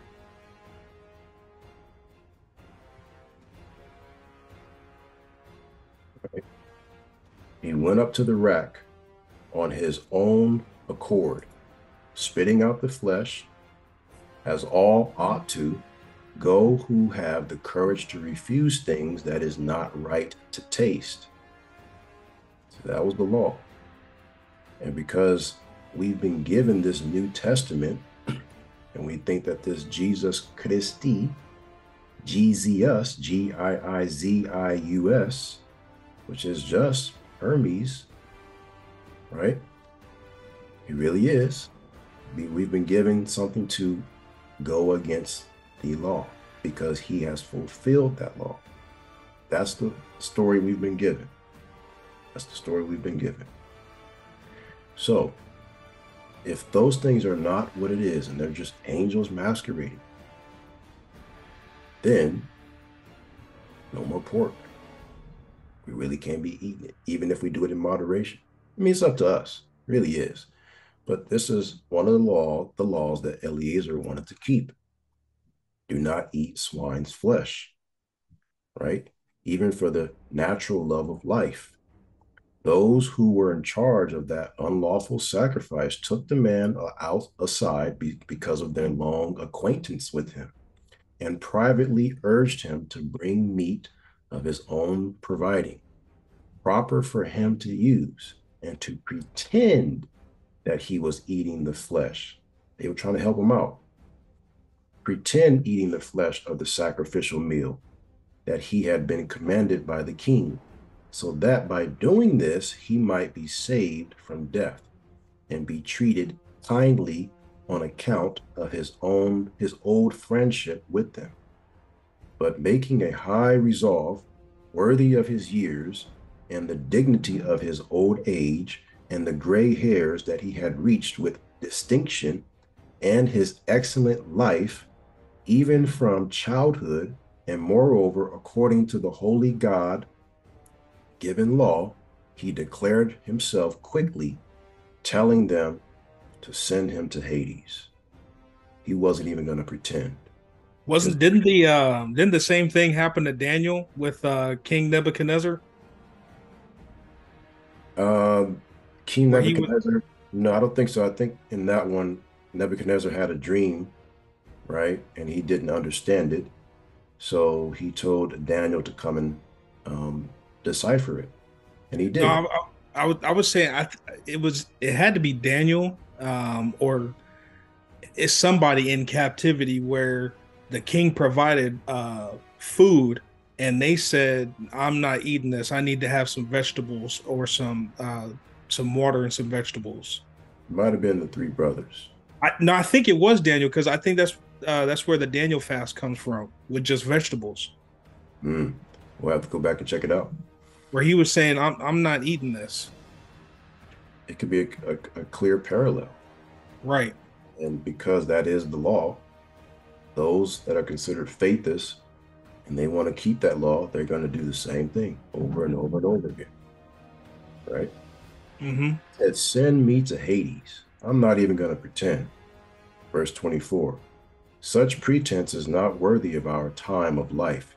He said, For many of the young might suppose that Eliezer, in his 90th year, had gone over to an alien religion and through my pretense for the sake of living a brief moment longer, they would be led astray because of me, while I defile and disgrace my old age.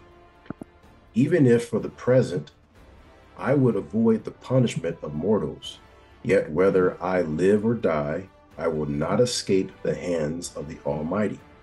Therefore, by bravely giving up my life now, I will show myself worthy of my old age and leave to the young of noble example of how to die a good death willingly and notably for the revered and holy laws. When he had said this, he went at once to the rack, to the rack.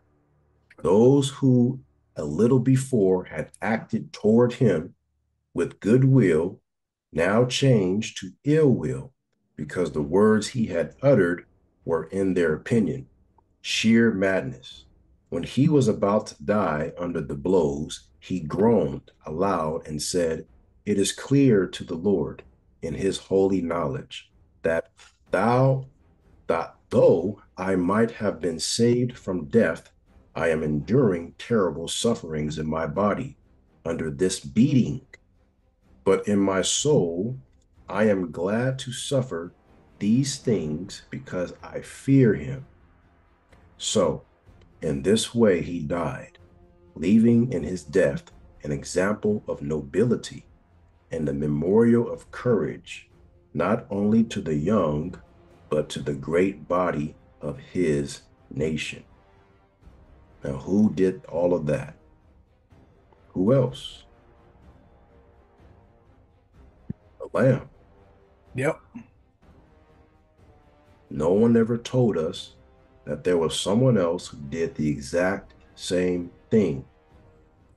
Eliezer didn't die for our sins, he died so that we wouldn't sin, as the example. To keep the law. I want you to, we're going to end here, but I want you to keep that in the back of your mind. He died, Eliezer, not for your sins, but so that he would be an example for you to prevent sinning and keep the laws. Keep the laws. Now we have to prove this as we go along. This is where we get into scripture and we look at the parallels.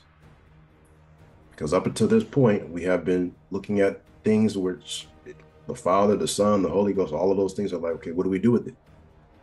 Right? So now we have to take the Old Testament and parallel that with the New Testament going forward, and we see the similarities. Could there be someone responsible for writing all of those God spells or gospels? Very well could be. Where do we fit in that? These are the questions that we have to answer in the next segment because we have them up until this point. Anything else you'd like to say, Isaiah, before we go? No, I mean it's just it's it's good stuff. Uh, you know, study to show yourself approved. And he did. He Get out there. Go ahead and test him. He said, Show me, and I will prove myself to you throughout your study. Seek the Lord in all things. Exactly. Exactly. So that's going to be it for today's uh, little podcast, little show, little Bible study. And uh, we're going to continue this teaching, this message. Stay with us if you like. If not, that's okay. The links to everything that we went over in this will be in the description. Hope to see you guys next time. Thank you. Peace. Peace.